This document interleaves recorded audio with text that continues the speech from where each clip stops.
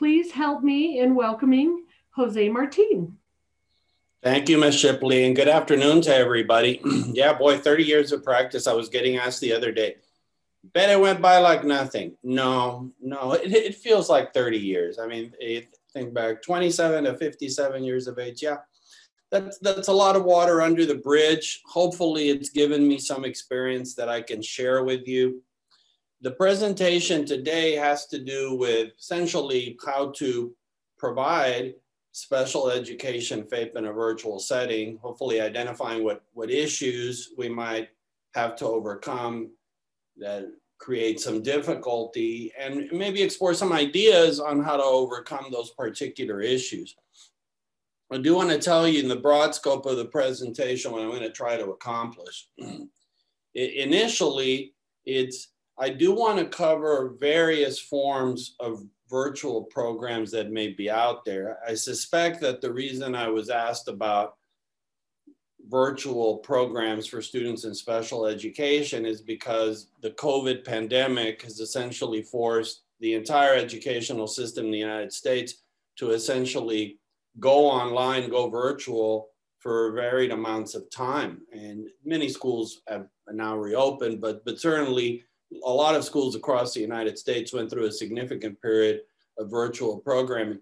And then depending on, on the state, some states, including mine, are allowing parents to opt to remain in remote or virtual programming even after the school reopens. We'll explore the issues related there. But even before the pandemic, there was already a proliferation of virtual schools and a proliferation of students with disabilities participating in the virtual schools.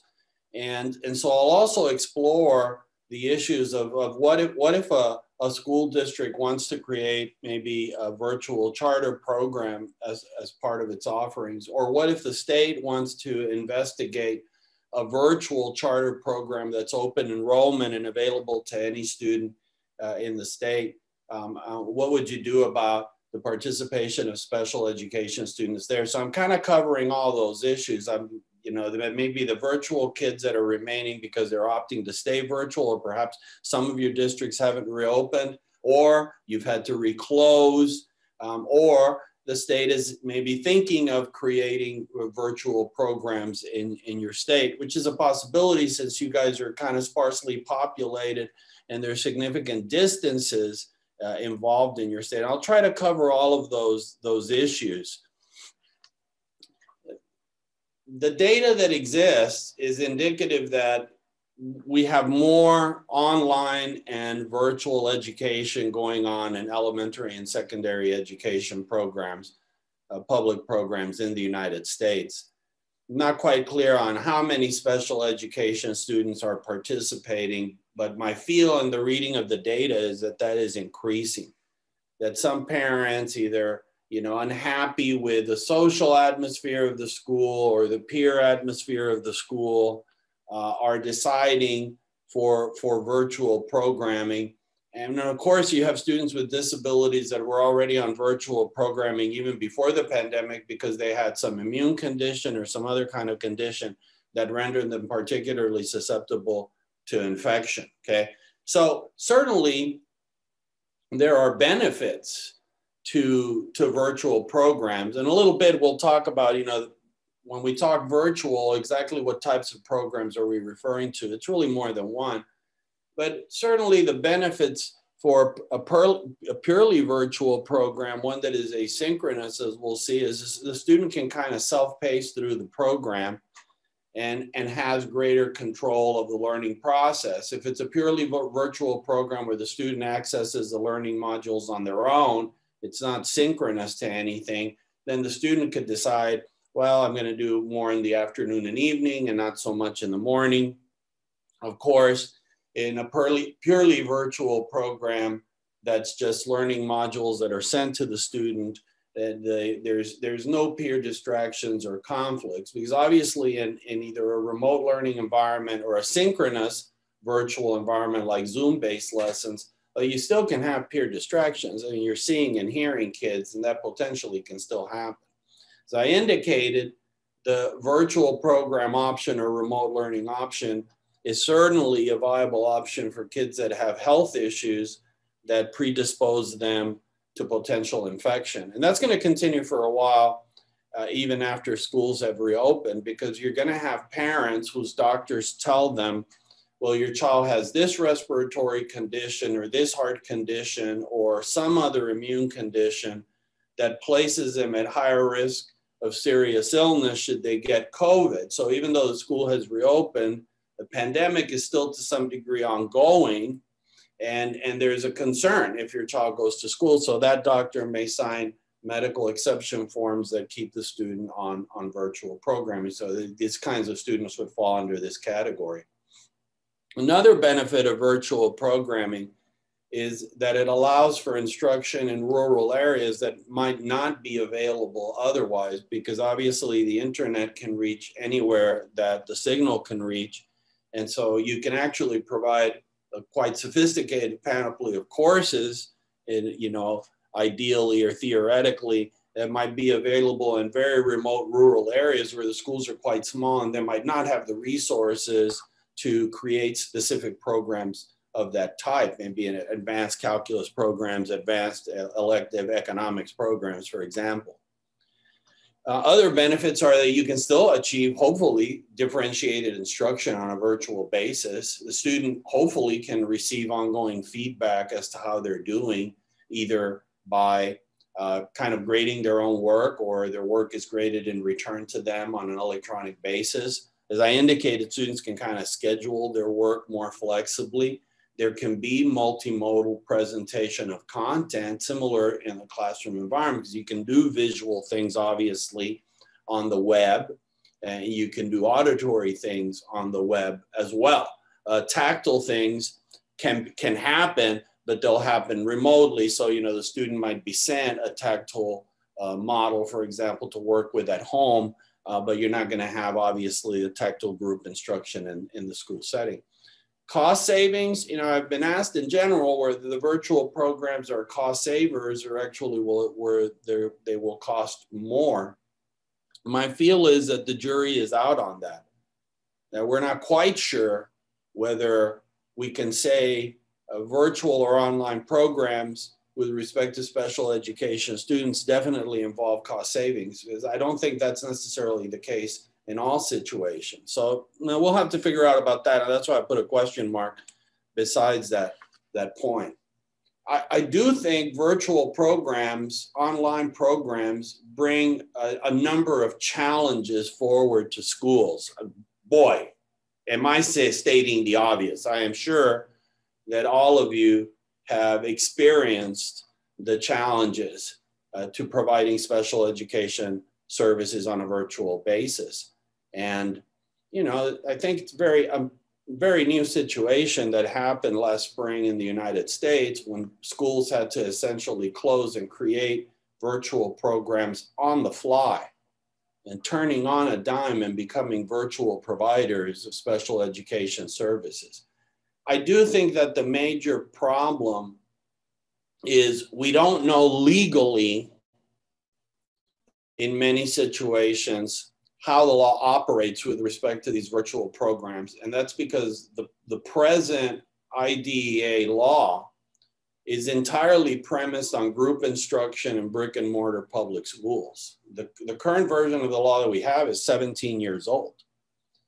And 17 years ago, no, the Congress did not envision that there would be this growth and expansion in virtual programs. And thus, there are no provisions in the law that even appear to envision the idea of virtual programs. So what you find is that in some areas of law, there's some friction. We don't know exactly what to do with virtual programs and how things are supposed to fit. And you'll see that I'll, when we get to the section on, on LRE, I indicate we, we don't know exactly how LRE works in the virtual context. Uh, another, another challenge of of virtual programs as an educational setting for students in special education is that we have to understand that remote learning, virtual learning, online learning has certain inherent qualities. And, and the nature of virtual programs is such that it's not going to be possible to provide an appropriate education to every child with disabilities through a virtual program type of setting. I've surprised some by saying that, but we shouldn't be surprised. Uh, no setting that is part of the continuum of placements in special education is expected to be able to address the needs of all special education students. The regular classroom cannot address the needs of all special education students. The resource classroom can't either.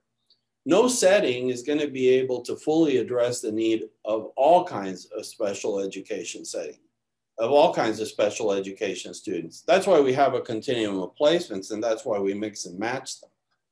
And I do think that you're going to see me go back to that point. I think that certain certain students are just not good candidates for the receipt of appropriate instruction and to make appropriate progress in a virtual or online type of program. And, I, and I'm sure that we have experienced that in the last year. Uh, that's you know part of the reason why the Department of Education is saying you're going to find some kids that are having learning loss and you're going to have to provide some form of compensatory services to those kids. Okay, let's get to this point. I've, I've hinted at it. Um, there's different types of programs that kind of are beamed into the home setting. Uh, I kind of break them down as follows. There's kind of virtual, fully online programs, and I see those as fully asynchronous. These lesson modules that are there, you open them on your own. They contain the instruction, the assignments, you do that on your own. Um, it, there's communication with your instructor, but only by email or phone. You turn in your assignments electronically, you take in your assignments electronically. The teacher may be asleep when you're actually accessing a lesson. Okay, I see that as fully, fully virtual, fully, fully online. Then remote, remote, I see, you know, that's a term that I'll give to what instruction that's likely synchronous, okay? And that's what the teacher is providing live instruction in a classroom setting. And remote students are participating by camera and microphone so that the actual live classroom environment, the desks, the blackboard, everything is being beamed into the student's computer simply by use of, a, of an appropriate camera. And the camera may have two fields, one focusing on the blackboard or perhaps more, more likely the PowerPoint projector. And, and the other field is broader of the classroom or maybe focused on, on the teacher. And the kids can hear all the instruction, view all the audio visuals, and hear the students can raise their hand electronically through some signal so that the teacher can hear them and they can hear the teacher if they ask a question or if they are participating in discuss, discussion. I'll, I'll call that kind of just remote because you're really attending remotely to the same classroom that you would otherwise attend live. And then I think that a lot of schools did the following, which is live online, okay, which is, you know, Zoom based instruction um, can be synchronous or asynchronous. It can be happening all at the same time or not. Um, peers appear on the platform from their homes. The kids might see all their peers as you see me, okay, and through the through the platform, and can be heard. You know, every peer, every student can be heard, and students obviously are hearing the teacher. Uh, assignments obviously are turned in electronically and I see that as sort of live online. Okay. And of course, you could have a combination thereof. Okay. So even think about it, even within the context or of, of virtual slash remote slash home instruction, there appears to be a continuum as well, where you know you see that it could be fully virtual, asynchronous, or it could be just remote, but live instruction is going on, or it could be live yet online with Zoom based type of, of instruction where the teacher is at home and everybody else is at home as well. That I think, I think for me, there, unless you, unless you tell me otherwise in your comments, these appear to be the, the types of, of programs that, that I've seen. You'll see that some of the cases that I deal with, the programs are, are fully over here in, in the virtual and online, uh, whereas other cases have to do with more live online types of, of services. I haven't seen cases yet on a lot of remote instruction, and I'm not sure why, why school districts aren't engaging in remote instruction, because I do think it has its benefits. Uh, remote instruction is not only synchronous, but you are, you are viewing the regular classroom environment and all of your peers in their natural environment, which to me would seem to be the closest thing to being in the classroom setting. Uh, but we'll see this idea of a continuum of placements within virtual and being part of LRE, that, that's an idea out of my own head. I think we're going to have to confront it in a future reauthorization because the Congress is simply going to have to acknowledge the advent of virtual programming, which I think is only going to exponentially increase from now on. As now, most parents in the United States have had experience with virtual programming, you're going to have some parents that think it's a great option and they're going to want it to continue, maybe for the regular ed kids, maybe for their special ed kids as well. I have to touch on equity and access issues because I have to. If you create a virtual program, let's say you you decide that as part of your school district offerings, there's going to be some virtual offerings. Section 504, which is the non-discrimination law, means you cannot categorically or arbitrarily deny or exclude students with disabilities from participation in the virtual program. That shouldn't surprise you. If you create an extra a new extracurricular activities, could you ban special education students? Of course not. Both under Section 504 and IDEA, if you create opportunities, you have to make them equally accessible to students with disabilities. You cannot categorically or arbitrarily deny them participation. Now, a key issue I want to bring up is that if you do create a virtual program, either one that's associated with your school district or the state decide to, decides to create, let's say, a virtual school, a virtual school district. It doesn't exist in bricks and mortars, but it's a virtual charter, as you'll see examples of this type of programs, that proper admission or screening policies are probably appropriate. They have to be designed to avoid categorical or arbitrary discrimination, but I think appropriate admission standards serve to screen for students who are good candidates to receive a FAPE on a virtual basis and also will uh, not admit students who we know by on the basis of evaluation data and their individual needs that they're not the type of student who's going to be able to make appropriate progress in a virtual setting which as i indicated i think that's a foundation proposition. You're not going to be able to meet the needs of every special education student in a virtual setting. We'll talk about what kinds of students i think are not good candidates in a little bit. Uh, here's an example of how discrimination works.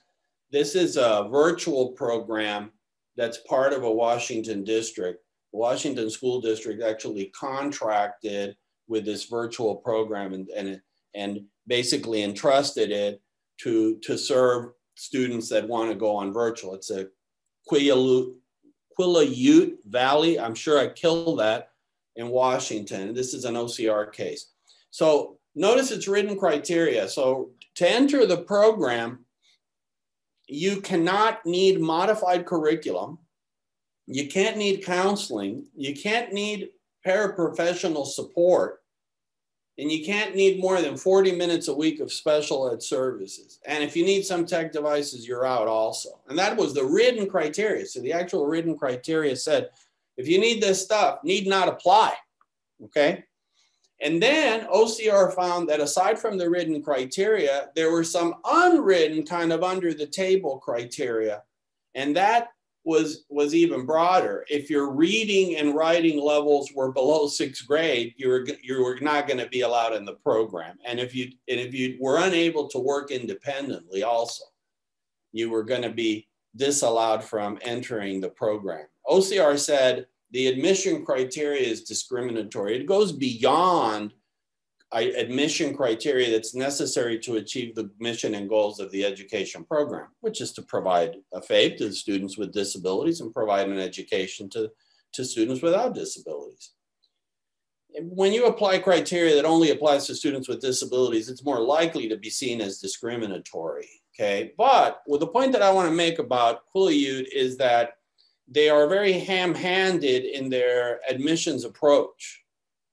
Because if you notice, if if you're if the idea, for example, we're not going to take any special ed student that needs more than 40 minutes a week of special ed services, you're categorically denying services to probably a, you know most students in special ed even students with a moderate learning disability are going to need more than 40 minutes a week of special ed services. So you're just not wanting special ed students in your program unless they're super smart and only need accommodations.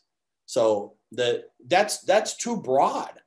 A, a, a student in, that is in special education that has a learning disability that needs 40 minutes um, or more of special ed services that needs some counseling and that and that has a reading level below sixth grade can still participate in a virtual program and make appropriate progress. I, I, you know, the kinds of students that I think can't receive a FAPE in this in this type of a program, uh, that doesn't it doesn't include that type of a student. This this criteria is too ham-handed. It's it's it's not surgically trying to ensure that students that can't get an education don't try and futility in the program. Here, you're just taking a hatchet and you're saying we don't want the vast majority of special ed kids.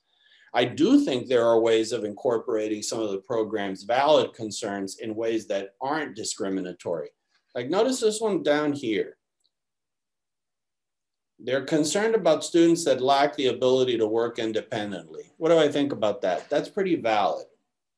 You know, in a virtual program, if you as a student need a, a lot of prodding and prompting and one-to-one assistance to do your work and you have zero ability to do work independently then you're probably not a good candidate for the virtual program because as I'll explain, it does expect students to work independently. I mean, most programs do to some degree, but the virtual program, I think even to a greater degree.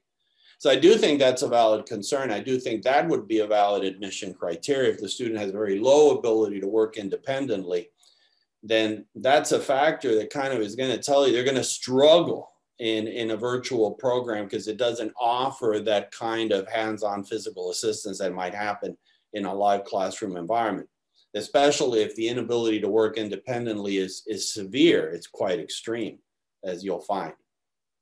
Okay, a point on open enrollment virtual programs. I have found in, in presenting on virtual programs, and this is an interest of mine, I actually became interested in special education and virtual programs way before the pandemic. I think that it was in 2016 that I presented at LRP on special education and virtual programs. And have learned since then that some states have funded open enrollment virtual programs. Okay, so they have, you know, allowed a charter program to open entirely virtually. And open enrollment meaning eh, first come, first, or anybody that comes, comes one, come all, you can apply and you can get in. Any kind of a special education student anywhere in the state can apply to this virtual enrollment program on an open enrollment basis, no questions asked. Okay. And the dilemma that I find uh, for these schools and obviously the states that, that they're in is that if there are no admission criteria to screen out students who are conclusively not going to be good candidates to receive a FAPE in the virtual setting, these virtual programs may in fact have to serve students that are impossible to serve virtually. And, and these programs are going to not be able to provide an appropriate education to these students, and they're going to be exposed to liability under IDEA because they're not providing an appropriate education. So I actually think that this type of model is not workable. Okay, and the model that I mean is you're opening as a virtual program, and any student in special education can get in because that type of model denies the foundation point I stated earlier, which is that some students their needs and the inherent nature of the virtual program are in opposition, and a virtual program will never be able to provide them an appropriate education, which again, I told you, shouldn't surprise us because not every type of setting is for every type of special education student. And I'll give you some examples.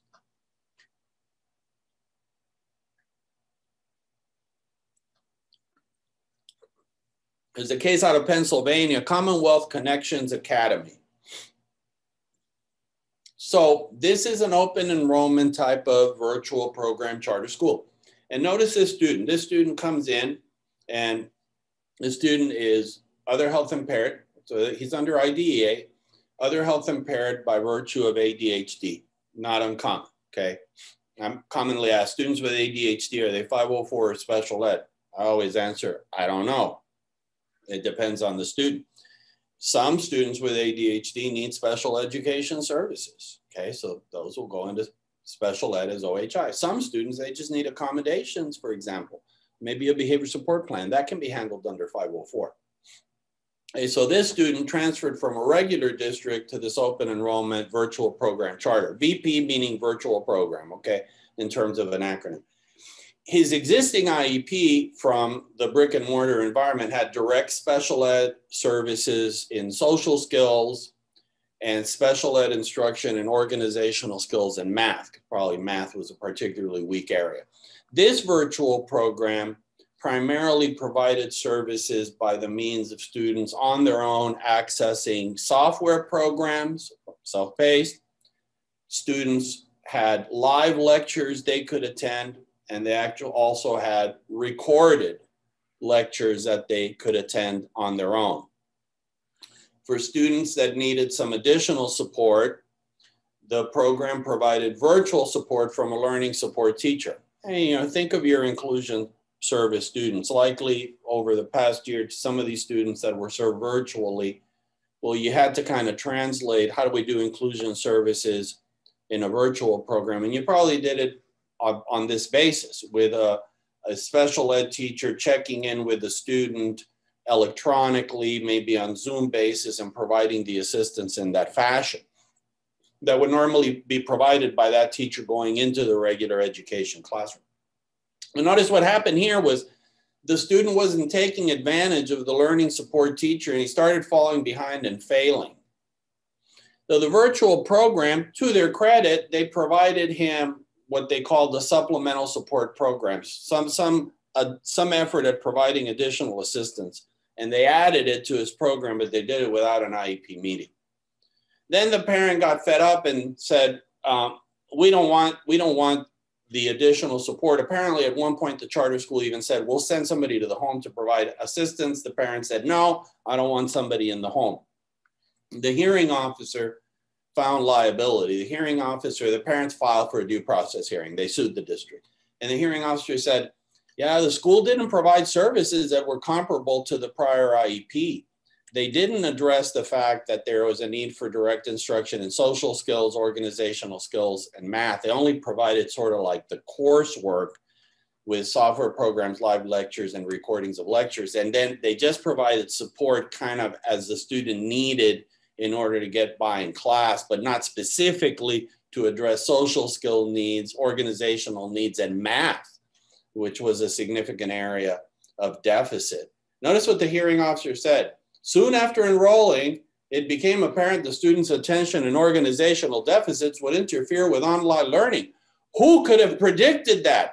Everybody, anybody. You know, I mean, you have a student that probably the the, the, the information and the documentation from the previous district told them, okay, this student is frequently off task, gets distracted, and we should know that if a student is distractible, distractible and, and likely to get off task in a learning setting, the virtual program is probably not a good thing, okay? Because um, it's going to be a little bit more difficult to determine if the student is off task and there may be more opportunities for distraction because there's kind of home noises going on or your cat might have jumped on your lap or whatever the case may be. And so the hearing officer found that they hadn't provided the services that were previously on the IEP, and they also committed some procedural violations. Yeah, I mean, very nice that you added these support services, but you have to do that in an IEP team meeting. I mean, that's that's special ed procedure 101. And sometimes these charter programs, they don't they don't know procedures. Notice the hearing officer awards a thousand hours of comp ed. How much is that? A lot. Boy, by the time they discharge that, okay, that, that's gonna take that's gonna take some time. You see what, what you have? You have a student that is has the right to be in this program that will not meet his needs Okay, he's way off task, can't do work independently. There's no way that the, a, a virtual program is going to work for the student. But since the programs come one, come all, they have to take them. And they have to admit a student who they know is not going to work out in the program. That's, that's the dilemma of the open enrollment virtual program. Here's another one Cincinnati Learning School. So, a teacher, as I'm sorry, a teenager is a case out of Ohio. He en enrolls in an online charter and this online charter does offer a resource room that I guess provides specialized instruction to supplement what the regular virtual program provides. But as they put the IEP together to put the student in this online program, the IEP did not state the amount of time the student would be in the virtual resource room. And often the student didn't attend he's he's missing work a lot. He's logging in inconsistently. So the hearing officer here's the procedural problem. They say wait a minute. The the program doesn't state the specific amount of special ed services? And that's not that's not appropriate. And it leaves it up to the student how much uh, resource room assistance the student's going to get is entirely to whether the student wants opts to get the resource room instruction or not. And despite the, the fact that the student was missing loads of work, the, the school didn't hold the follow-up IEP meeting. That's crucial. That's crucial. You know, I, I say frequently that sometimes when we look at special education cases, we get caught in the minutia and the technicalities of special education cases. And, and I advise that you don't, okay? Mostly a lot of cases are won or lost on whether the school district took action when there was a problem. Okay. So a lot of times, you know, I, I work with schools and ask them, is there a problem? And they'll tell me yes. And I tell them, I'll tell you what you need to do. What? Something. Okay. Do something. Okay. Meet and talk about the problem and do something. Uh, I'll note here is it bad that the virtual program places a high responsibility on the student? I mean, is that contrary to IDEA? Well, to a certain degree, I think that it is. And if if it, it in this system, the adults have to decide how much special ed instruction the student needs. The student doesn't get to be his own IEP team, right? Okay if you're in an IEP team meeting, you say you need to be in resource class two hours a day. Do you then look to the student and say, is that okay with you? And the student says, no, nah, I only want to be in there 30 minutes. Okay, 30 minutes. That's not how it works.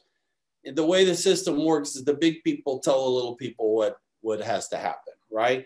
Um, because we're the IEP team, we're the education professionals, we're the ones that know about the student's needs. The student is not the judge of, of whether he needs assistance or not.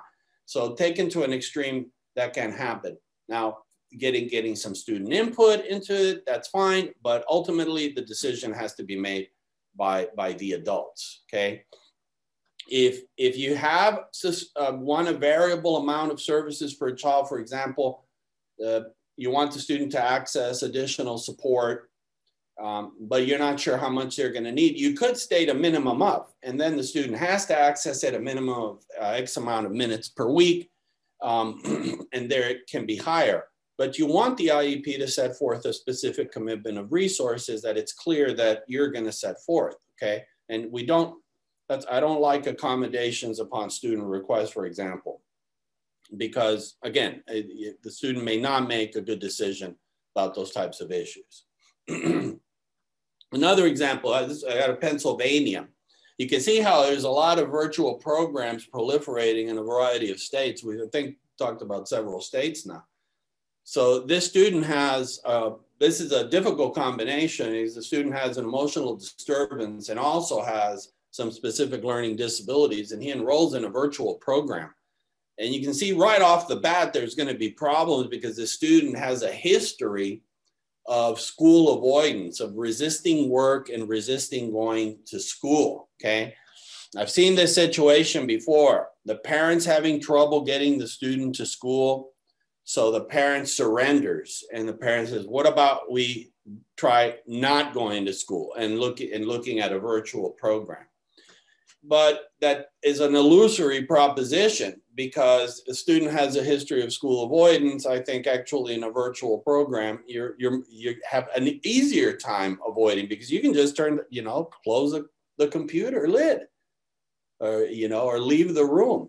So unsurprisingly, in the virtual program, the students started not participating and failed many classes. And the problem here was that the virtual program, again, didn't hold an IEPT meeting and didn't amend the IEP to address the students' participation problems. Notice the quote, the charter committed to apply its online model to the student and that relied upon the child to access instruction. That can be an appropriate model for its regular education students, but it can't be for the special education students. You have a responsibility to implement the student's IEP and ensures that he receives the necessary special ed instruction. Uh, it is no defense to say, "Oh, we had we had the services there. He simply didn't access them." I guess they thought that was a good defense. It's not. Any hearing officer is going to say, "What'd you do about it? That's a big problem." Did you have an IEP team meeting? Did you discuss the issue? Did you put together a behavior support plan? Did you interact with the parent? Okay. What are we going to try to get this student to participate? You know, before maybe concluding the student's not appropriate. But remember, in these open enrollment programs, you have to take the student. You just can't kick the student out um, because they're not doing well. Okay, and and you know, and ostensibly, that that can be a problem because again in some situations you're not going to be able to serve the student on a virtual basis so i see some problems with these open enrollment virtual programs if, if, the, if the state of wyoming is thinking about it and that is that i think there's going to be a tendency where truant students students that are in special education but they're often missing class or missing uh, from certain courses classes because they're skipping or they don't get to school or they're resistant to going to school or they may be in the classroom but they're resistant to doing their work. And sometimes they're enrolled by the parents into the virtual program as an alternative to attendance. But it doesn't work because their their their school resistance just manifests maybe to an even stronger degree in the virtual program if the parent has trouble getting the, the student to school and the instructional staff have student have problems getting the student to attend to instruction, it's going to be very difficult in the virtual program where obviously the parent may have other things to do beside monitoring the child's participation.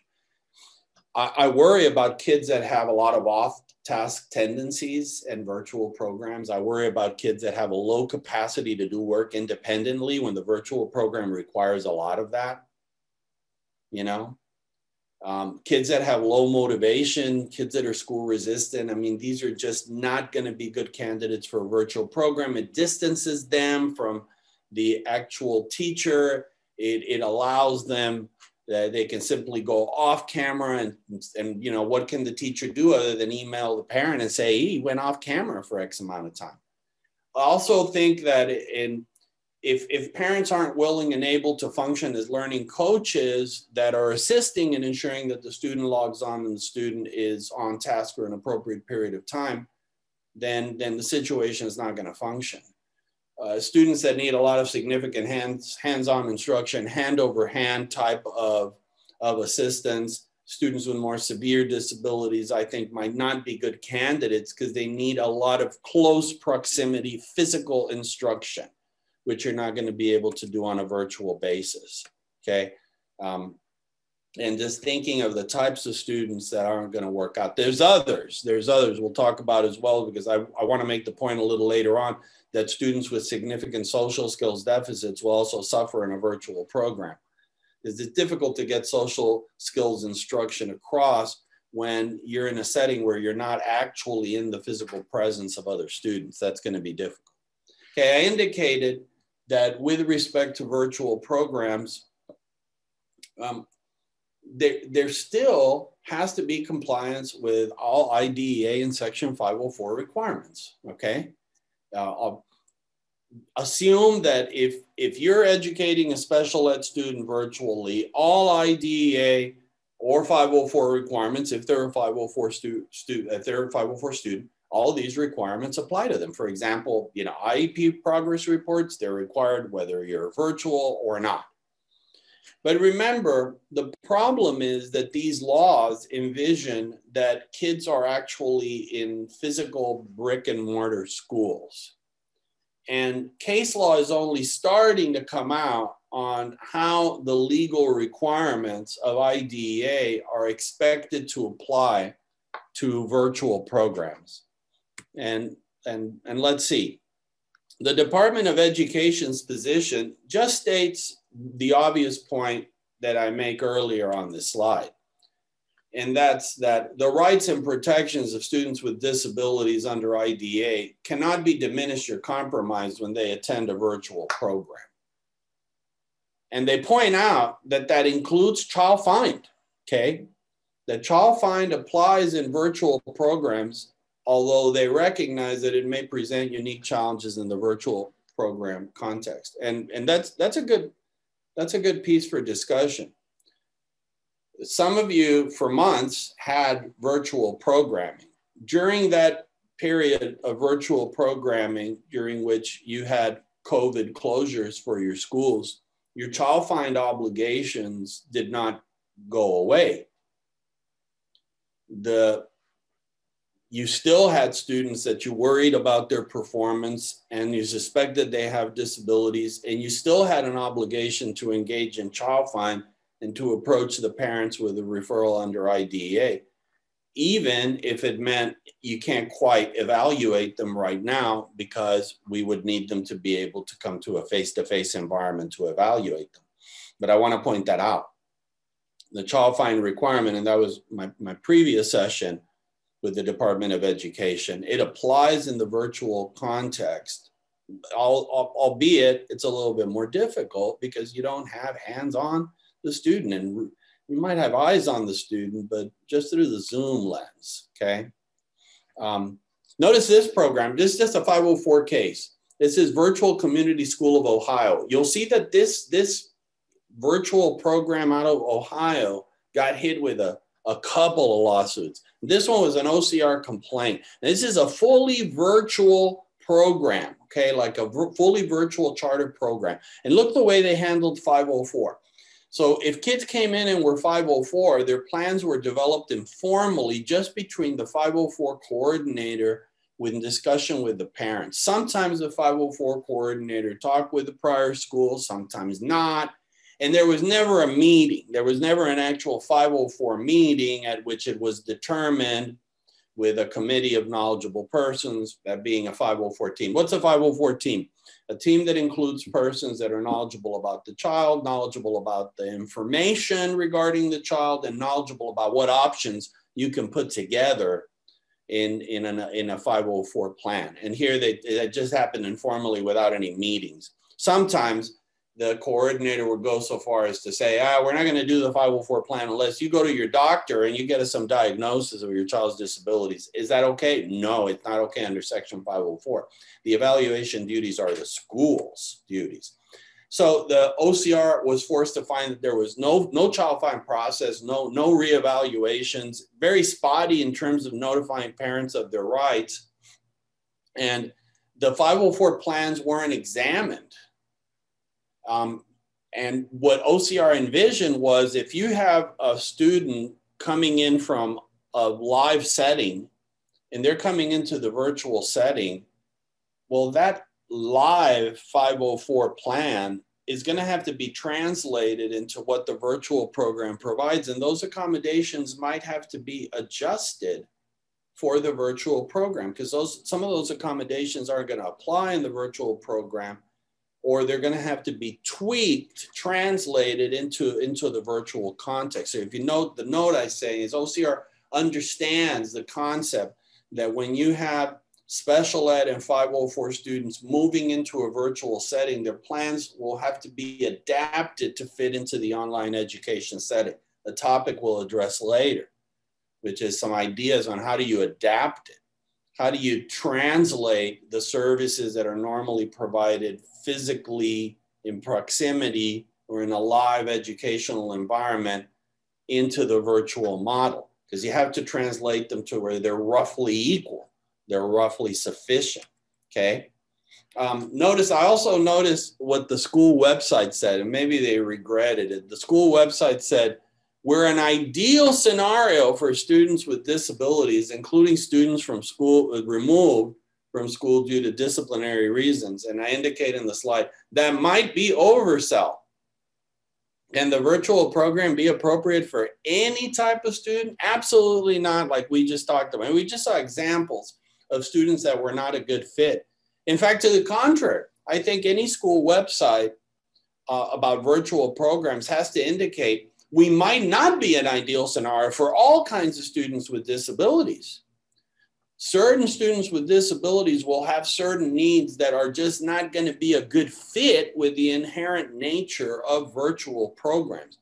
And that's why I advocate that if, if a school district creates a virtual program, that there be some admission process through the IEP team to determine if the student is a good candidate to receive FAPE in that, in that program.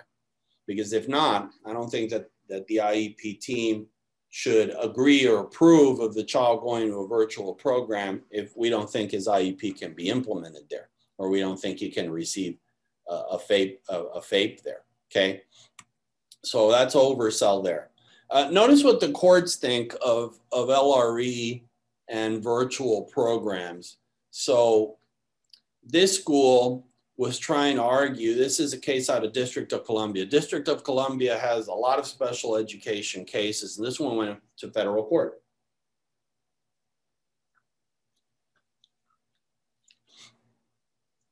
The school was trying to argue when we moved them from a virtual program to a regular school environment, that was not a change in placement because we didn't change the IEP. The IEP services, the goals, the accommodations, they weren't changed. So we just moved them from the virtual program back to a live campus environment. And the court said, that sounds like a change in placement to me. Notice the quote of the court. You'll forgive me for reading it clearly, shifting for, from what is essentially a completely individualized instructional setting that's separate from other students to a traditional school setting does constitute a change in the plaintiff's then current educational placement. And the question that I've raised in the past in previous sessions is, does this analysis apply in the COVID pandemic situation where all students had to go home to receive services? Was that a change in play? When the school closed and all students had to go to remote services, was that a change in placement for all students? And it does appear that the emerging analysis in federal courts is that not in that situation, because that was a system-wide decision. Okay, and it applied to all students. So that's not, it wasn't really a change in placement. It was something completely different and, and unusual and unprecedented, okay, as we're starting to see. Yes, Ms. Shipley. Can you unmute yourself? I can now. I have a question that I will read. It says, we have talked about students that are not good candidates for FAPE in a virtual program. And I hear you say things like the IEP team, the IEP, I'm getting more questions, it's scrolling down. The IEP team shouldn't have agreed to those plans. In an open enrollment situation, what do you recommend? If all students in the district have the option to choose the virtual program, do we tell the students with disabilities that they don't have the right to make that choice when all other students do? Yes. I, I hope you're not surprised that my answer is we can't say yes to an instructional setting and a, and a, and a decision for a student to enter into a placement that we know will not provide him an appropriate education. I hope that doesn't surprise you. The, the fact that some students, maybe regular education students, can opt for a virtual program does not mean that the virtual program is appropriate on an individualized basis for a certain special education student. Okay? If if the student's IEP cannot be met in that program or the the student's individualized disability related needs are such that they're in opposition to what that program provides, the IEP team has a duty to tell the student you can't go there. And it's not discrimination to protect a student's right to FAPE. The IEP team has a duty to provide a FAPE and cannot allow a student, by virtue of making a voluntary option, to deny himself an appropriate public education. Now, that's, that's not how non discrimination works. You have equal access to that program if it meets your needs. That shouldn't surprise you. Let me put it this way to you Isn't it discriminatory to tell a special education student you can't be on the football team? Okay. Let's say that student has zero skills and he's going to get smushed on the football on the football field. The the school district would have a duty to hold a tryout and figure out if the kid's any good. Equal access means you have certain capacities and certain skill sets that enable you to be able to play as part of the football team. That's why there's a tryout process. And it's not discriminatory. It's not discriminatory to tell a student you can try out, but if you don't make it, you don't make it. And it's not discriminatory to tell a student the IEP team can consider your request to go into a virtual program. But before that happens, the IEP team has to approve it. And not approving it in protection of the student's right to FAPE is not discriminatory. You are looking out for the student's appropriate education. And you have to. That's the point that I'm making there. Okay, thank you. Next sure question. Thing. Are there others? Yes, there are. In Wyoming, we currently don't have virtual schools. We only have virtual education programs per our statutes.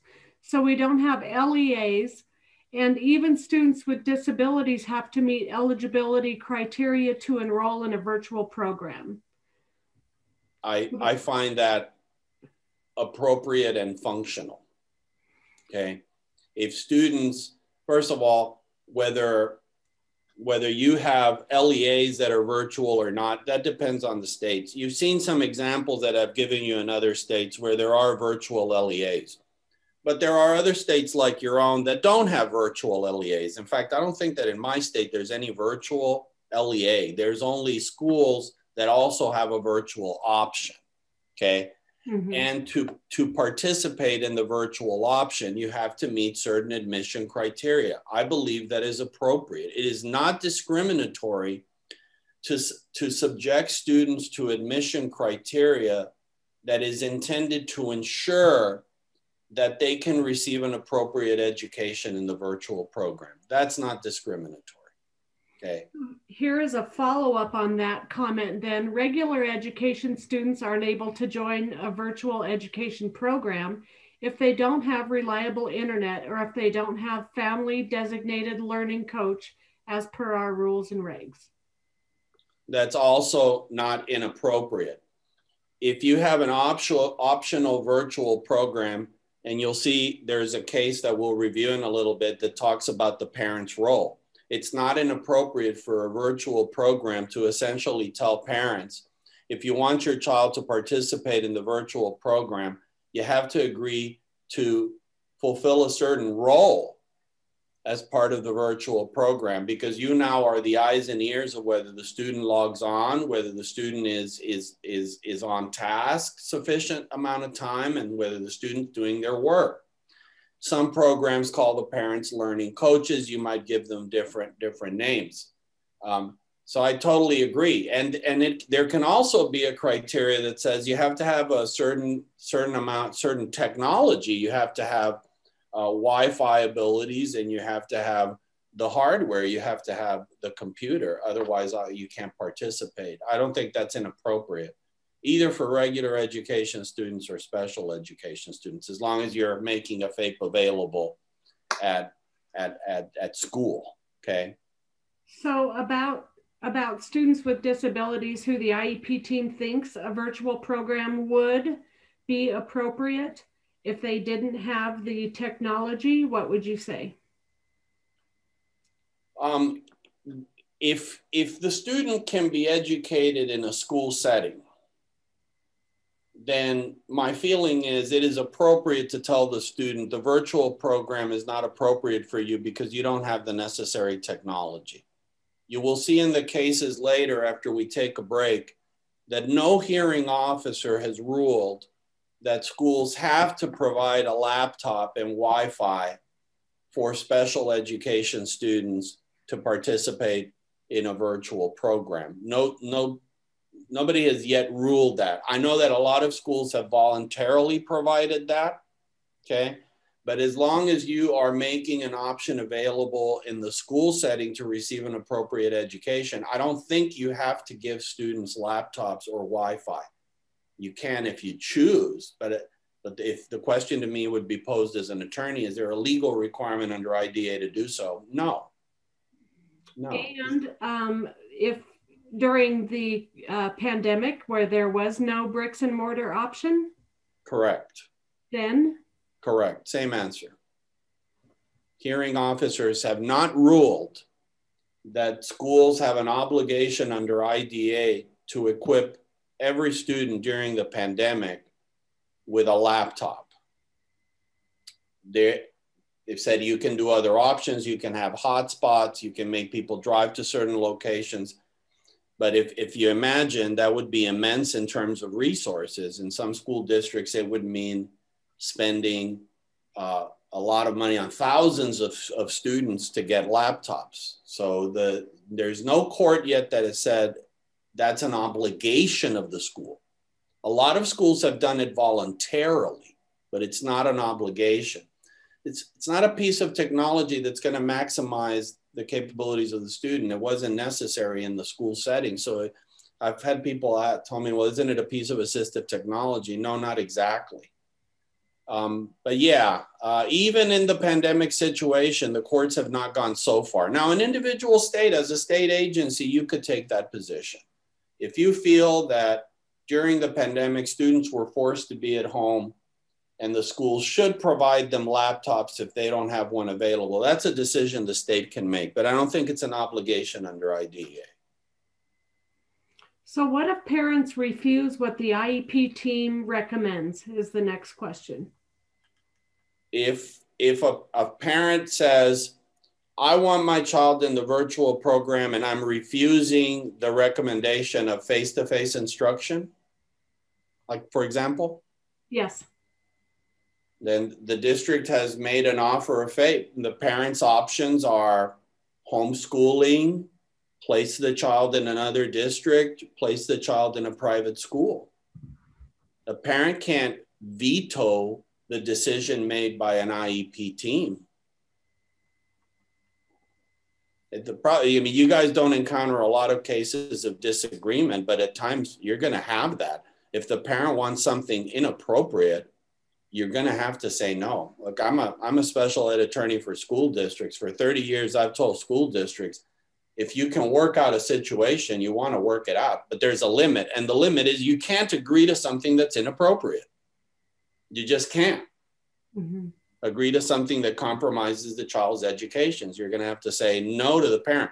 And then the parent has the right to challenge it. The parent can file a, a complaint with the state education agency or can file for a due process hearing or can file for mediation if they want to insist on the inappropriate option. But they can't force it.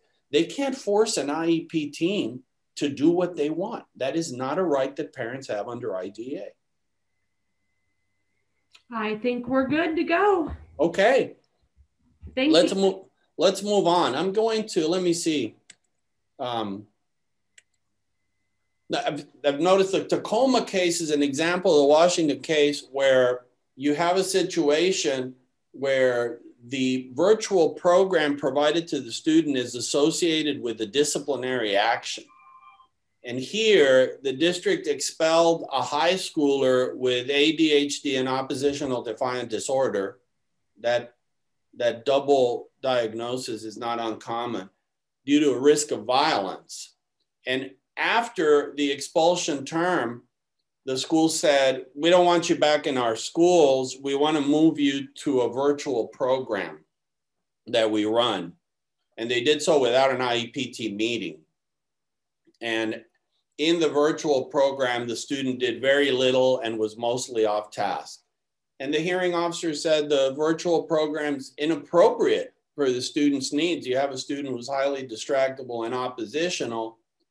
They're not going to work well with a virtual program. In a virtual program, you need a student to be on task. You need a student to be able to work independently. You need a student who has some level of motivation, who's not going to be defiant, who's not going to be oppositional to the educational program.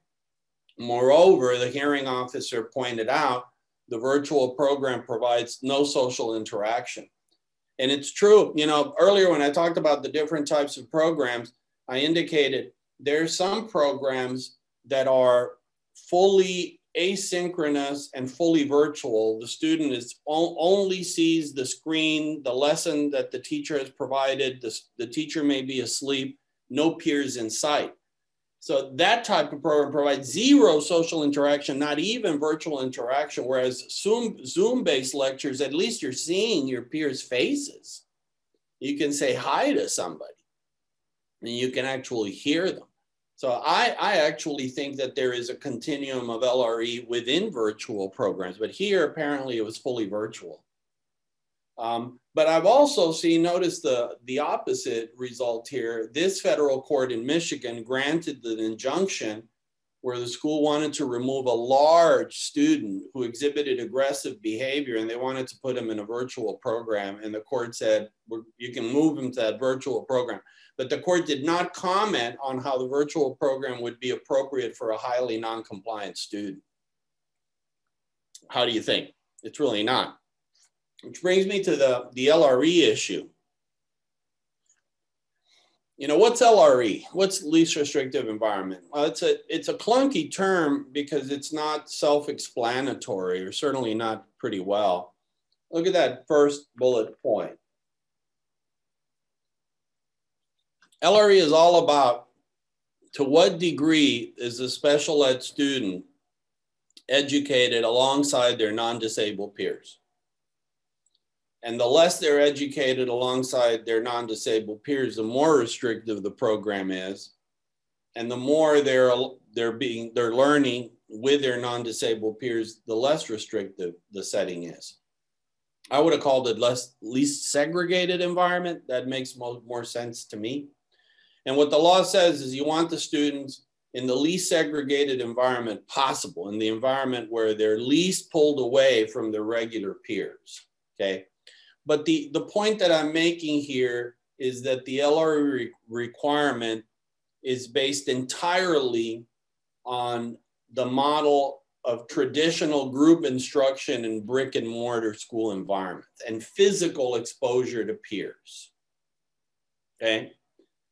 And notice, notice that this is the case. Look at the, the main LRE regulation says students should be placed in their brick and mortar campus they would attend if they were non-disabled, unless the IEP requires another arrangement, in which case they go to the campus closest other to their home, next closest, that does have the right types of services. So my question is, how do the LRE work in virtual settings? And up to now, cases have applied the mandate rather traditionally, at least up until the time of COVID. And post COVID, you're going to see that some courts have taken a, a rather novel approach to how LRE works in the virtual context. I mean, it's a red herring. It doesn't work. Okay. Um, here's the case. It's uh, SPV Fairview School District. This this case out of Pennsylvania. These these parents and this school and the student ran this district ragged because the student claimed he had really severe migraines that made it impossible for him to go to school, go to school part time, audit classes, because all of these options were attempted. Okay. And ultimately, the school provided him a virtual program, and he said, That's no good, and he sued the school. The school had made numerous attempts to accommodate his condition. The student was missing school all the time, tardy all the time. So they told him, hey, what about you come in the mornings? What about you audit the afternoon classes? What about you show up when you can? What about you show up on the days you feel good and you catch up on the others? Nothing worked. The student would just not, not cooperate. Um, he had virtually been provided a hybrid program where he did some classes virtually and some classes at school but apparently he, he never went to school and he didn't do any work on the virtual program either. The school fa- finally um, provided a fully virtual program that the parents insisted on. The parents actually apparently researched and said, This is the virtual program that we want. School district, probably in desperation, were thinking, Okay, we'll try it. Okay. And so they put the kid on this virtual program and the student didn't perform. Okay, the student didn't participate in the program the parents liked, so the parents lost faith in the program, which they themselves had insisted on. it. Ultimately, they sued the school. The parents got an expert, and notice what the expert argued. The expert argued the virtual program is a highly restrictive placement because it pulls the student away from his non-disabled peers and it doesn't allow for learning of behavior and social interaction with peers. Both these points are true. I mean, the, a virtual program is certainly pulling the kid from regular peers in the physical sense. And if it's purely virtual in terms of learning modules, pulls them totally. In a Zoom basis, you're still not physically with the kids, but at least you can hear them and talk to them. And I agree that that when you have a student that has behavior problems or social skills problems, the virtual program is not for them because to learn social behaviors, you have to practice them with peers and hopefully in unstructured settings and structured settings. And the same thing with social interaction. You've got to practice it on your own and you have to work on it in a guided basis with actual instruction. But the court's position was your migraines they're so severe you yourselves have said it that it's in the, the student is incapable of attending a regular program so the school made extraordinary efforts to try to accommodate the student in a brick and mortar environment proper, prior to determining the most restrictive option was needed. That's why I cited this case, because you notice the court agrees that the virtual program is the most restrictive option akin to homebound placement or residential placement. In a homebound setting, you don't have exposure to anybody. In a residential placement, you might be out of town. You have exposure to other kids, though. So they're along the lines there of homebound and residential in terms of the restrictiveness. If you look at virtual program from the traditional lenses of LRE, okay? And here's the new take, by the way. Okay, this is a recent case, Hernandez v. Grisham out of New Mexico. In this case was brought by special ed students because they were challenging a rule that limited in-person instruction in districts with high COVID numbers. As New Mexico reasonably said, in districts that have high positivity rates, which means there's a lot of community transmission, we're not going to have in-person instruction. And the, the, parents of these IDEA students, for reasons that I, I cannot decipher, said no, even though there's high positivity rates, we want in, in-person instruction. And um, the court said the rule does not violate constitutional considerations. First of all, it's necessary to protect public health and safety because you're not going to convince the courts not to look at the at the data you're just not going to convince a court to do that. And the court also noted where in the Constitution does it say you have a right to in person education? Okay, it doesn't say that. In fact, the Constitution doesn't mention education much because it is a police power of the state under constitutional law. It's part of the police powers. And what that means is it's not the job of the federal government's education, it's, it's the job of the states. Okay, so they, the court said appropriately, there's nothing in the Constitution that says you have a right to an in person education. But that's not why I cited this case. Why I cited this case is, has to do with this slide. The parents claimed remote instruction violates LRE. They're making the argument of the parents in the in the Fairview case. They're saying it's highly restrictive. Then notice the court's take. For the first time ever, the court takes the following position. The court said, since all the students have been relocated to the home, regular ed, special ed, 504, all students during the COVID closure have had to go home that's now the mainstream setting. The home, that's where all students are getting their education. That's the regular classroom for purposes of the analysis. So the court takes a highly unusual position that the COVID closures actually change what the regular setting is. Is that what's happening? No. I mean, if I had the judge here, I'd say that's very creative, but I'm not sure, Your Honor, it's going to work. Respectfully, LRE is about the degree to which a student with a disability is exposed to non-disabled peers. And in a virtual setting, they are not physically exposed to non-disabled peers, and we can't avoid that. The reason that the LRE regulations and IDEA focus on removal from the regular classroom is simply that the regular classroom is where regular ed students are. So by removal from the regular classroom means you're removing the student away from regular ed kids. But putting a student in a virtual program inevitably is removing them from exposure to non-disabled peers and disabled peers, okay? So it's not a satisfactory position. Um, why is the court making, taking a position that is kind of awkward, is kind of, I don't know, funky, okay? Doesn't pass the fish smell test legally because LRE in the virtual environment, we're not as a legal system under the IDEA legal framework, we don't know what to do with it. It's clear that it can't be that only students that have a need for something like residential placement are entitled to participate in a virtual program because that would be very, very few students the reality is that virtual programs have now become part of the continuum of placements. We don't know exactly where they fit in terms of LRE.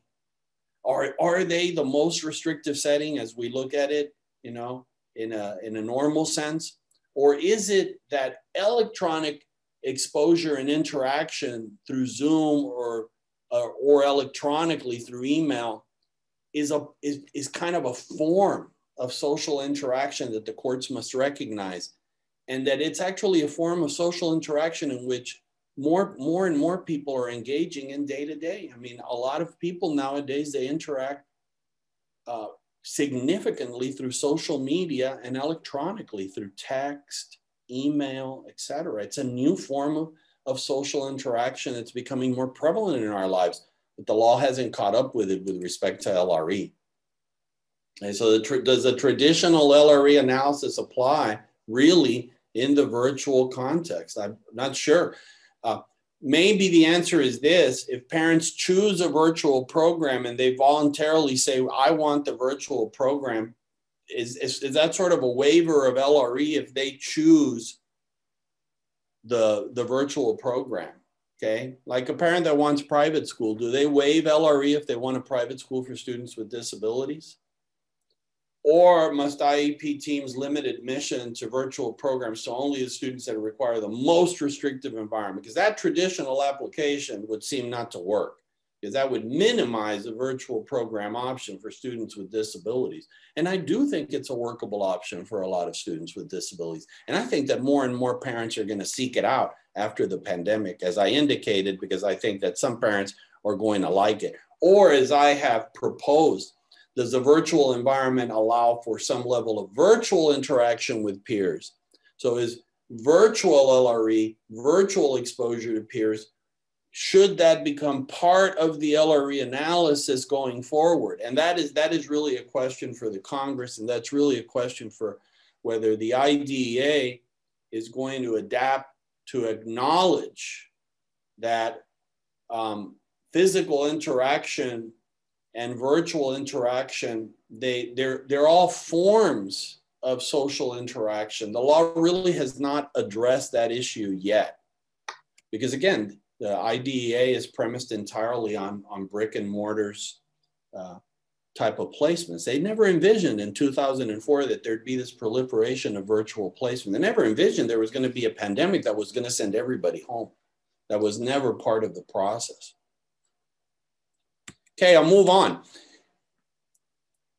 Away from LRE, which is an area where God things just things don't fit. I want to move to also other kind of appropriateness disputes that can involve virtual programs because at times you know there's a virtual program but you know parents have a problem with it notice this benson unified school district case um, the parents of a student the student had multiple chemical sensitivities i don't know if you guys have ever encountered a student that can't be in a school setting because the the cleaning products the air quality is just not sufficiently good and it causes reactions. And I guess because of those problems, the school district had provided her homebound services. But what they were proposing now was changing those homebound services to a virtual program. And they did so because apparently the virtual program offered a much wider curriculum. And the parents disagreed. The parents wanted a teacher to come to the home. The parents said, the virtual program offers too little one-to-one instruction. They said, we are not going to be able to serve as learning coaches and the student's going to be exposed to print chemicals. I think student was sensitive to the inks in paper. Um, moreover, the student psychologist said she, she lacks the ability to self-motivate and to get work done on her own. Um, but the homebound teacher disagreed. Okay. The homebound teacher said, Oh, no, I think the student's very responsible. And, and requiring her to do more work independently would be beneficial. So the hearing officer found for the school that the transition to a virtual program was available. Moreover, apparently the virtual program could be provided print free, so the student would be exposed to no chemicals. And the school was even willing to send a paraprofessional to the home to serve the function of a learning coach, to make sure the student logged on enough. The implications of that, well, are, are, are other schools really going to be willing to send a paraprofessional to the home just to ensure that the student logs on and stays and stays on task? It seemed like it would be a fairly one-on-one type of job, but a very significant resource just to have the child on virtual programming. This school district in Arizona was willing to do it. Okay. I don't know. Notice this case. This is interesting. Okay, so this Pittsburgh case, you have a teen with Asperger. Apparently, it's a young lady. She uh, had Asperger's. I know we don't use that term anymore. It's all within autism spectrum disorder, maybe on the more uh, higher functioning side of things. But this young lady, uh, apparently, she'd got into a fight with another young lady at school. I don't know if it was a full-on physical fight or it was some sort of altercation, but that that uh, created a lot of anxiety on the part of the student and she had fear of school and she didn't want to go back to school. So the district proposed a mostly virtual program, um, but the parent disagreed. I mean, the parent said, no, no, no, I, I want her to go to school, but you guys need to take care of this anxiety. And the court found that the student was not a good candidate for a virtual program. Why?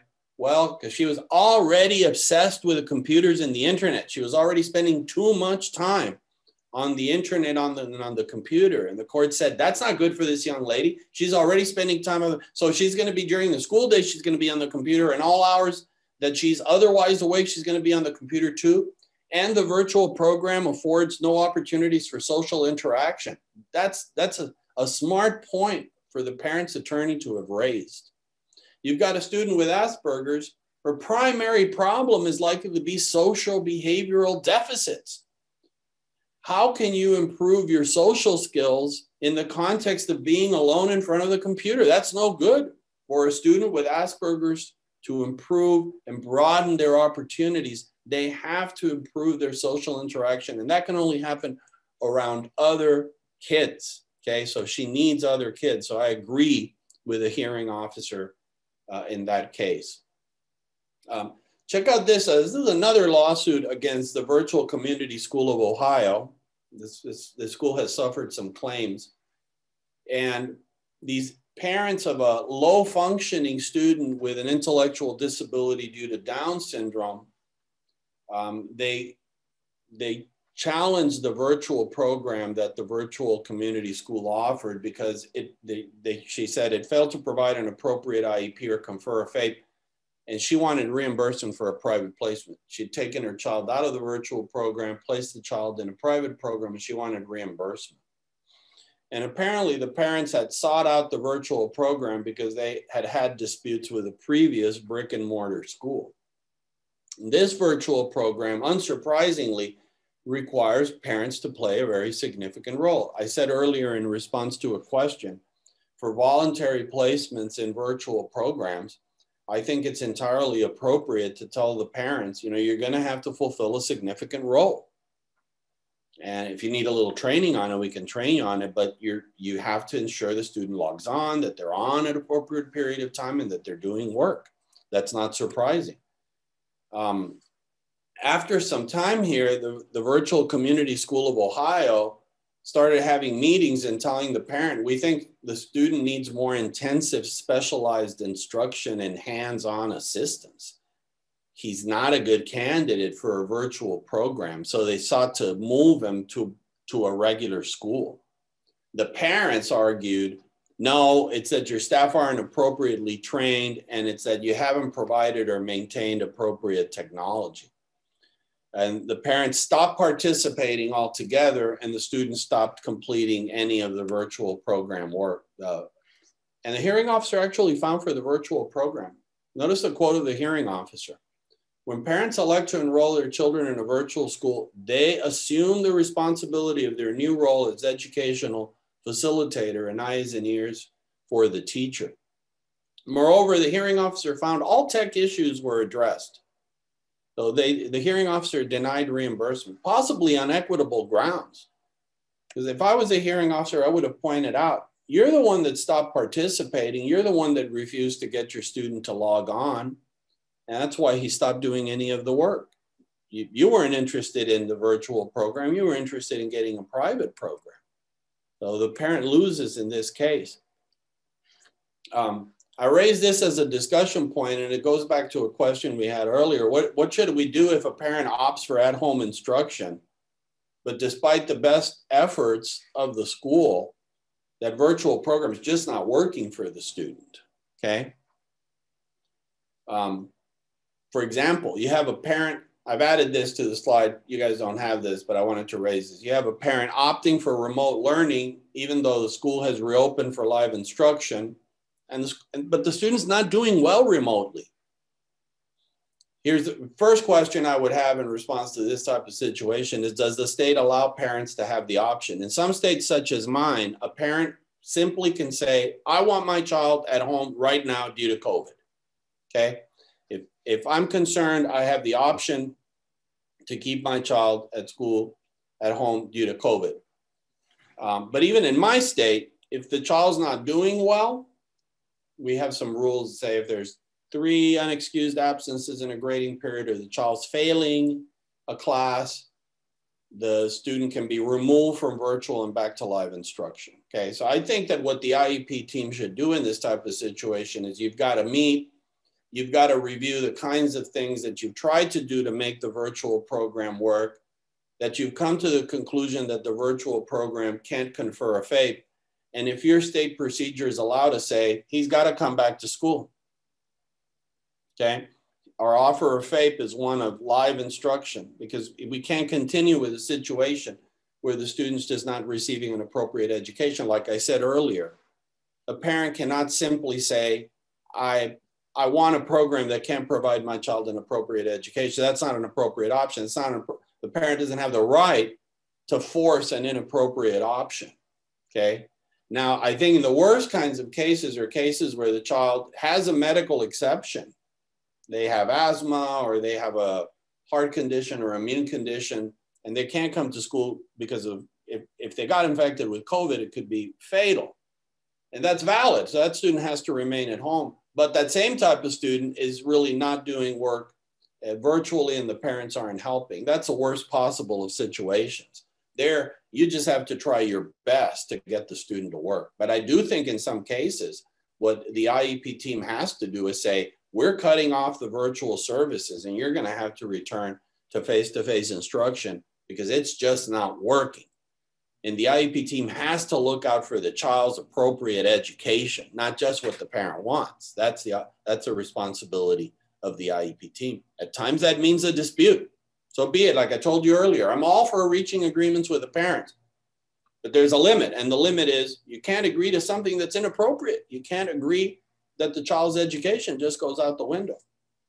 Check out this case out of Hawaii. We'll We'll do this case and then we'll take a little break to stretch our legs. I was involved in this case. I helped out the attorney that was working in this case for the state of Hawaii. Very interesting case. He had a student with pretty significant cognitive impairments, but he also had hearing impairments and he also had medical issues and he also had behavior problems. So, very difficult student, very challenging student to serve. And the district operated a charter school that offered a hybrid program. So part of the program was you have to come to this school, but the main portion of instruction took place virtually. Parents served as learning coaches, but they got some training and assistance on how to do it, which is not a bad idea, by the way, to provide some parent training in that. But quickly, problems developed in both parts of the program the student pretty much wouldn't do anything on the virtual program and the parent wouldn't make the student. In the school portion of the program, the student was either frequently absent or tardy. Um, for one, the child lived on one side of Oahu. Oahu is the most populated island. And if you've ever traveled to Honolulu, you know there's a lot of traffic. And the charter school was all the way on the other side of the island. And traffic being as it was, it was difficult. And the parent really had a dispute with her neighborhood school, and she wanted him to go anywhere but that. So she was willing to drive him across the island. But he was getting there really late. At times, he wouldn't want to get out of the car. Times the staff would have to come out and help the student. And the, the program made lots of attempts to provide assistance and services to the child at home, very little results. Ultimately, the IEP team said, the student can't be served in this environment. He needs the structure and face-to-face services of a regular campus program and a structured special ed setting.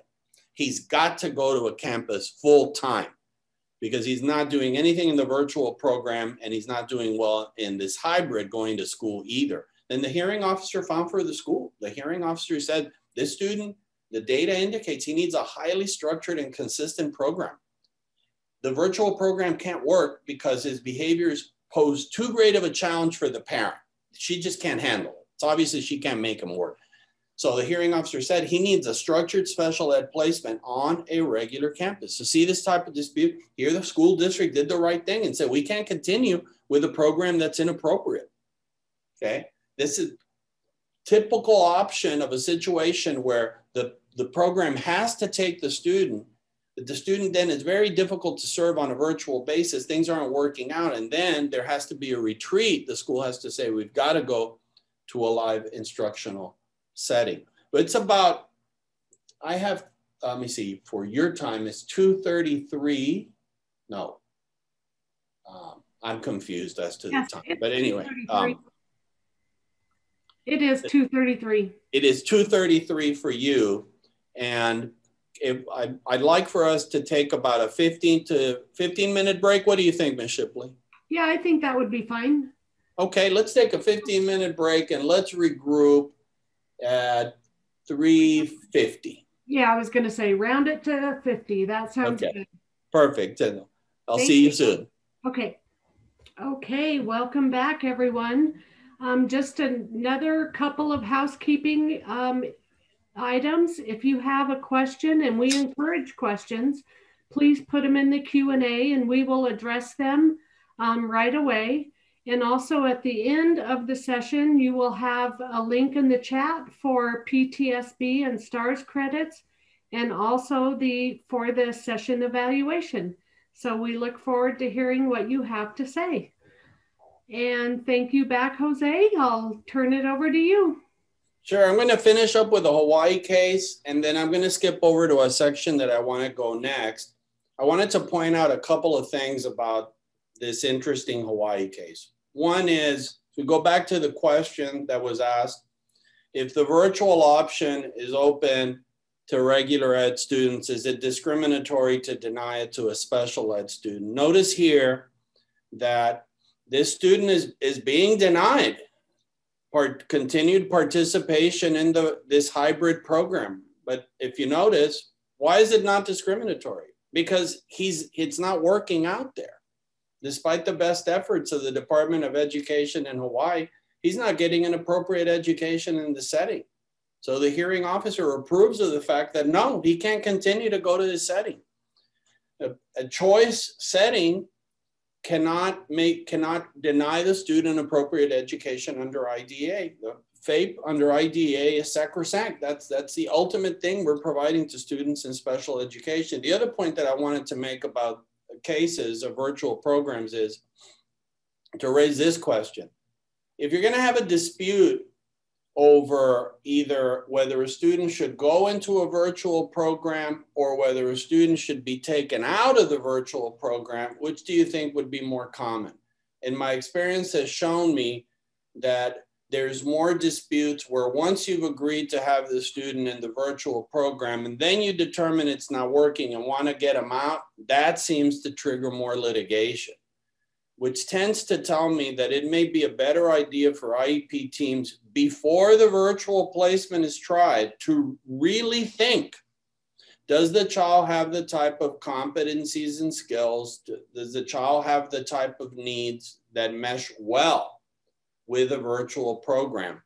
Ability to work independently, self motivation, um, ability to stay on task for significant periods of time, no significant need for social skills instruction, no significant need for hands-on assistance. Yes, Ms. Shibley, do we have a question?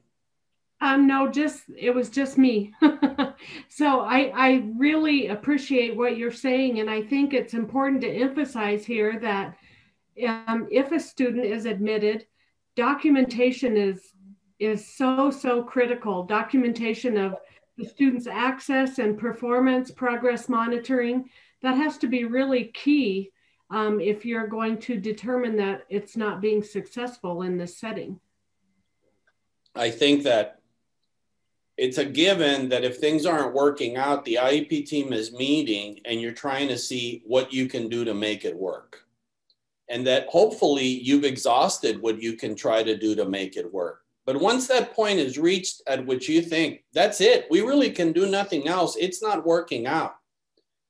Then, then the discussion has to turn to we need to, to move the student to a placement that will work. So it's, you know, obviously you're going to try to make it work, but at a certain point you're going to decide it doesn't. And the point that I'm raising here is if it if it's in a future situation of a parent that wants to go to a virtual program and you know it's not the right student for that type of virtual program i think it's probably a better idea to say no from the beginning and to explain to the parent how the child's needs and the inherent nature of the virtual program just don't work out. How that, that how that's not the best thing I've had parents, they want a virtual program because they're sick of dealing with a truancy officer. As if moving the child to a virtual program will make the student now want to participate in education. And then, then they realize, oh, he's, he's not doing anything on the virtual program. Well, that's not a surprise. If you have a student who is resistant to attending class, he's going to be resistant to, to being online, even more, even to a greater degree. So I think sometimes parents are, I, I'm not sure they're thinking right about what the virtual program can't and, and cannot offer. So that's, that's the point that I really, I really wanted to make there. Um, I have slides on how the programs need to be individualized to work and how you have to provide related services in the behavior pro in the, I'm sorry, in the virtual program. But I wanted to move to, to slides that tell me what kinds of factors are relevant to whether a child's gonna be able to function in a virtual program and not. And I've listed them. I think once you have school attendance, school avoidance, work resistance, things aren't going to work in the virtual program. You, you, need a student who's able to remain on task with minimal prompts, who has kind of self motivation. Kids that have significant social skills deficits, you're not going to be able to work on that effectively in a virtual program. Similarly, if you have students with more severe disabilities that require a lot of significant hands-on and hand-over-hand instruction or life skills instruction, very difficult to do on a virtual basis. Ability to work independently, it's a must for students, okay? If they're not strong workers independently, it means they don't have, they either don't have the capacity, they don't have the, or they don't have the motivation to do the virtual work. And that's, that's gonna be a big problem, a big problem. How have they done in previous virtual programs? Are the parents willing to play the role that's expected for them in getting the students to participate? You know, do, they, does the student have compliance problems or emotional problems? do they have the ability to work the technology with some training and support. These are the factors that I think are, are relevant. You know, because if you have it, here's the kind of cons of online programs. If the student's not motivated to participate, the teacher has limited options to keep the student on task.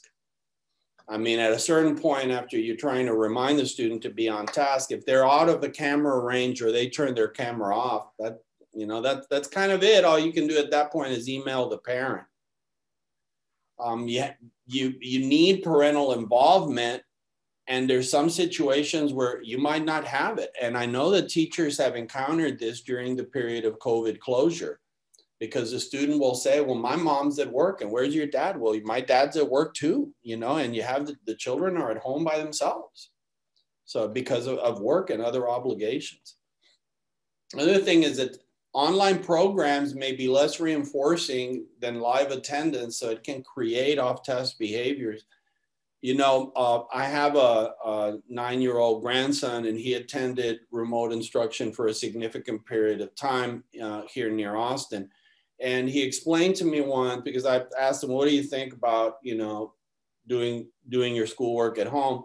And he said, "It's it's not as good as you might think, and although he's not very communicative about those things, he got across to me the idea that he felt that all of the, the, the work obligations and burdens were there, but none of the perks of going to school that he enjoyed, which was the PE, the before school social time, and the after school social time. And he said, that's all gone. So the, the cool stuff is kind of gone, and I just have the work. And even though he did well and class actually improved grade wise, but he wasn't enjoying it. He's back to live instruction, enjoying it a whole lot more.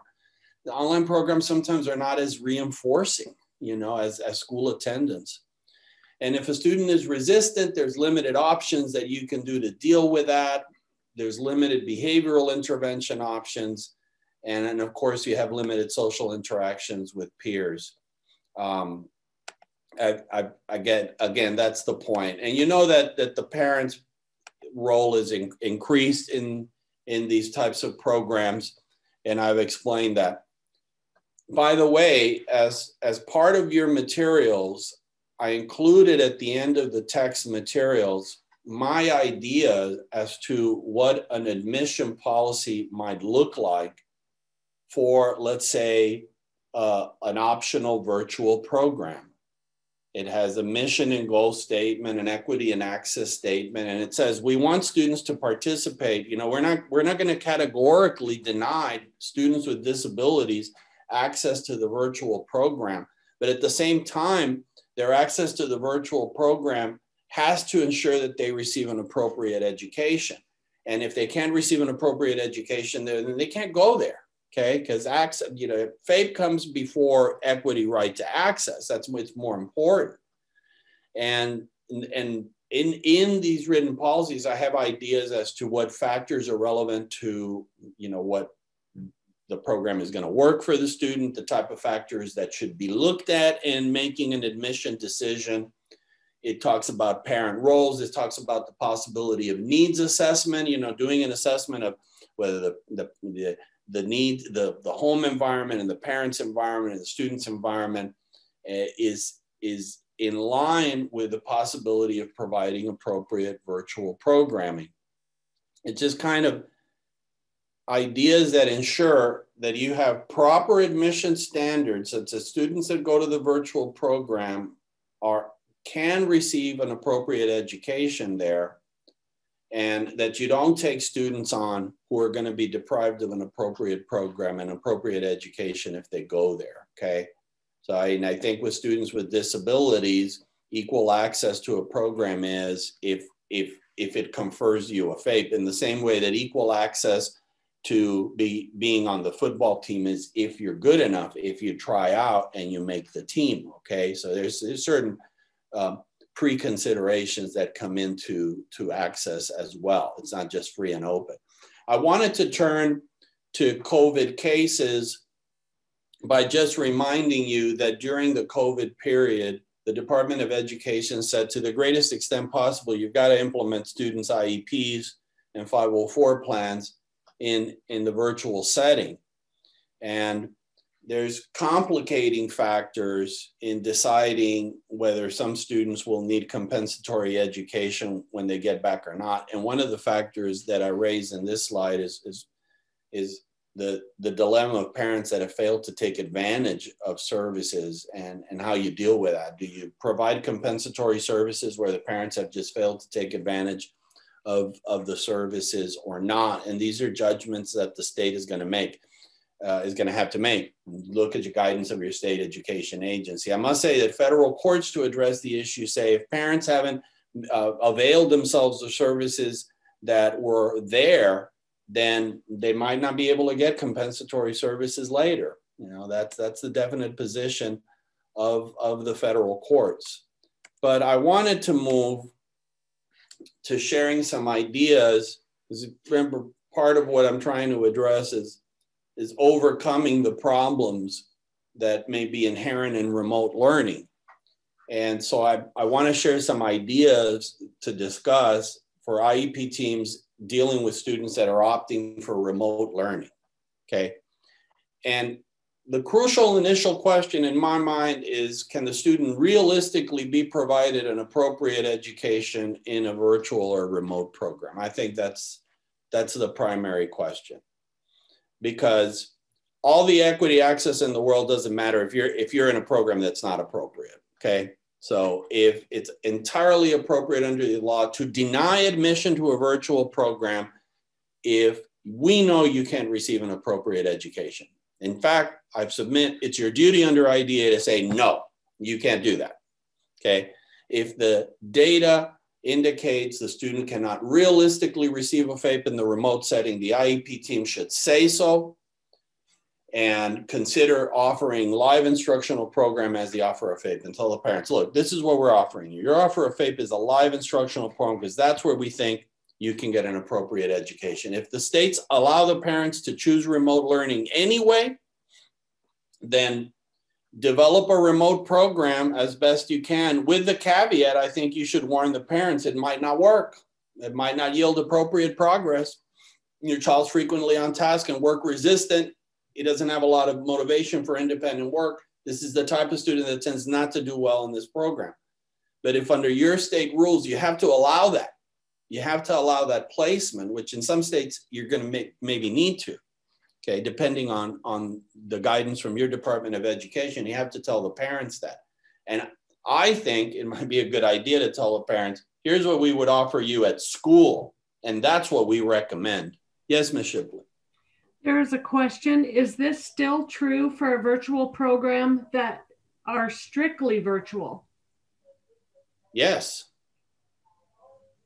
Yes, this, this is true for all of these variations of programs, with programs that are strictly virtual, with programs that are remote, beamed into, you know, there's live instruction, but it's beamed into the, the student's computer, or Zoom instructional lessons. I, I put that all sort of under the rubric of virtual slash remote. Point being that some students' needs are just such that that type of setting will not work for them. Okay. Yes. And I want everybody to understand it's non discriminatory. No more discriminatory than removing a student from the regular class to put them in a special ed classroom. All students have the right to be in the regular class. Why? not if it can't meet your needs. And you know that for some special ed students, that can't meet their needs. And it's not seen as a denial of the regular classroom, it's seen as the provision of, of an appropriate education through specialized instruction. Okay. The initial question is, can we provide a FAPE? And then, then it breaks down. Okay on the, in the virtual or remote setting, can we realistically provide you your IEP services and specifically the meat? You know, as I see IEPs, it's like a hamburger. And to me, a good hamburger has all the components. But the meat of the hamburger, the protein, is definitely the special education services. That's in fact what makes the child special ed is the need for special education services. You have, you have a disability that qualifies and you need special education services. So the team has to figure out how do we duplicate the special education services in a virtual format. And I'll, as you'll see from the cases that I will go into next, the hearing officers in the courts tend to take a pretty straightforward and simplistic approach. They want to see the same amounts of time and frequency of services, of special ed services, as in the live IEP. If the child got 60 minutes of special ed instruction for math, they're going to want to see 60 minutes of virtual instruction for math. That's just their tendency. That's just how they see it. Okay. If you're providing inclusion assistance, that's the special ed service that the child is getting within the context of the regular classroom. You have to think of options for providing the inclusion assistance vir virtually. You know, how will you get the special ed teacher to provide assistance to the student virtually? Do you do it um, during the classroom? Do you communicate with the student, you know, by Zoom? Do you do it afterwards? You have to figure out a way that that inclusion assistance, which is the addition of the special ed instruction that'll enable the student to, to participate and progress in regular classes, gets implemented. So you have to think of that. Um, remember this, as you guys are opening for live instruction, the you have an option for kids that are still remote to basically do true remote, which is camming into the actual live classroom with two-way audio and video, like I indicated before. So the classroom is going on normally, but this, a student or certain students are watching remotely from their homes and they can hear what's going on in the classroom and they can participate. And I got to tell you that I like that option. I, I, think it's the closest to participating in the live classroom environment if you're going to go remote because it addresses any concerns over equality of instructional time. It's like it's the it's the same amount of time for everybody. I mean, it's a class period. It's full school day and proper proper probably it's preferable from a social standpoint because you're hearing the kids, you're engaging in the classroom discussion. I happen to think it's less restrictive than the pure, pure virtual, okay? Because you're you can participate in the classroom discussion on a live basis auditorily, you can, you know, verbally. Whereas in a, in a, in a virtual setting, if there's class participation, it's happening just through chat questions and answers, for example. Okay, so think about it. Think about it. I was disappointed to find that one of my clients, they've reopened for live instruction, but a number of their kids are remote. So guess, guess what's happening in the classroom, in the live classroom? All the kids are on the computer. And the teacher is just basically doing Zoom-based lessons to the kids that are at home and the kids that are in the classroom so that the, the, the Zoom instruction has taken over the live instructional environment. Of course, my question is, why aren't you just doing live classroom with the kids there and, and having the camera just for the kids that are remote? Seem to me, seems to me a, a better option, okay? Remember, ultimately, the amount of virtual special ed instruction that you provide has to be sufficient to provide the gas to meet those IEP goals, as well as with the live services. That's, that's the real deal. And remember that I see the, the, the amount of services that you provide as to whether they're sufficient to enable the IEP to meet those goals. And that's what you want. You want to meet those goals at the end of, of that calendar year. Maybe not all, but you want to meet most of those goals. That's what shows appropriate progress. And I think you have to realize that you're gonna you're gonna find that some students may actually require more special ed instruction in the virtual setting than they did in the live instructional setting, just due to the differences in the model. Vir virtual and remote instruction is very different than the live setting.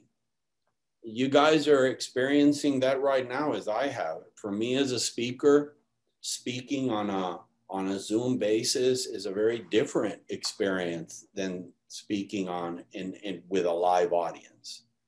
The experience is different. And I'm also a consumer of continuing legal education and doing legal education on a virtual basis rather than going to a conference is a very different experience. You guys know it. You guys know it. So you shouldn't be surprised that that my point is that the virtual environment as an educational setting is vastly different than, than the live educational environment.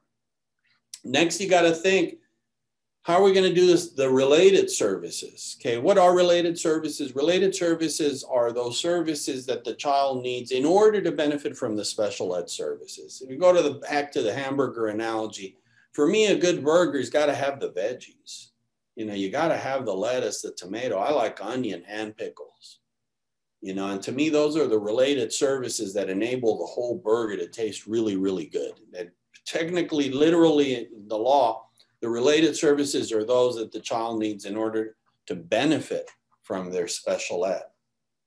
Um, but I think that the beauty is that most related services can be provided on a teletherapy basis. They can be provided through the computer, speech. I was surprised to find at the outset of the pandemic that OT and PT, something that I considered to be very hands on, that they said, oh no, they, it can be done on a teletherapy basis quite appropriately. Counseling, I think can be done on a teletherapy basis. Actually, most related services can be provided on a teletherapy basis. And again, the hearing officers are going to expect the amounts and frequency to be the same. If you had group speech, you can do group teletherapy speech. One-on-one counseling, do one-on-one counseling. We'll do a proviso. I have found that most of the licensing organizations and boards appear to want Uh, therapists and providers to get an additional parental consent to providing the therapy on a teletherapy basis. Okay. And, and, and I think that's appropriate. Usually I want to ensure that, that folks that are therapists within the school setting, that, that we are observant of their responsibilities to their licensures and they don't get in trouble with that. So if, if they need to get an additional consent, I, if I was a school person, I would facilitate that and, and in fact, I've, I've drafted some, some of those consents. Um, uh, some kids may require a new related service, and that's parent training. Because if you might find that a parent needs training on how to log on for their, let's say, five year old, because he can't log on on his own, uh, and, and, and how to work the program and and maybe some training on strategies to keep your kid on on task and motivated. You know i think a very very helpful lesson for parents that the covid pandemic has provided is a firsthand view of how difficult it is to be a teacher because parents have had to assume a little bit more of that role during during COVID, and now they're realizing just how how challenging it is to keep your child on task, keep them motivated. And, and I think also it's, it's about helping parents understand you need a, a, a private, quiet learning space at home. That's going to facilitate the best thing. I think the best thing is to keep it real routine. You want, you want a place where your child gets their education and you want to keep that as routine as possible so that the child has a, school day in the sense at home. And then you have to think, how do we provide the student their accommodations that they need in regular classes? And I think that here the trick is review the accommodations that are provided in the live instructional setting and see if they apply in the virtual setting. Some will naturally. I mean, extra time for assignments, you know, that's that's that can be done virtually just as easily as in the classroom. Shortened assignments that can be done just as easily, but some might need to be redesigned a little bit to fit in the virtual setting. Like in the classroom, I'd say borrow a peer's notes for note-taking assistance. Well, I might have to change to you have to provide a copy of the teacher's notes, or you arrange electronically for a peer to send the notes reteach difficult concepts, which might happen in a brief little one on one during the classroom setting, may have to change to something else. Maybe you point the child to helpful on, online resources to help with the assignment. So you have to think because some of those accommodations are, are very uniquely tied to the classroom environment and, and might not work in, in, the, in the virtual environment in the same way. So you have to kind of translate it into the virtual environment. And same thing for behavioral interventions. And when, when do you have to put behavioral interventions in an IEP? I think the standard trigger is if a student exhibits recurring behavior that impedes their learning or that of others, you, are going to have to consider positive behavioral intervention supports and strategies. So says the regulation that I've cited right here. And, and you have to understand that some students might engage in different behaviors in the virtual setting than in the classroom. You know, I, I can understand that. I mean, some kids are just, you know, they just are sick of it. And it's not as reinforcing as being in the classroom. And the behavior plan might have to change to reflect that.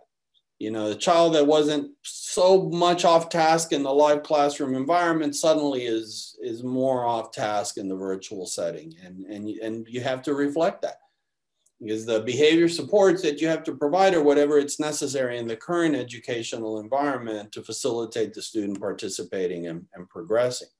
Thus, I have some slides on discipline in the virtual setting, but I'm just going to cover this briefly. I do want to emphasize that the IDEA rules of discipline apply equally during virtual instruction.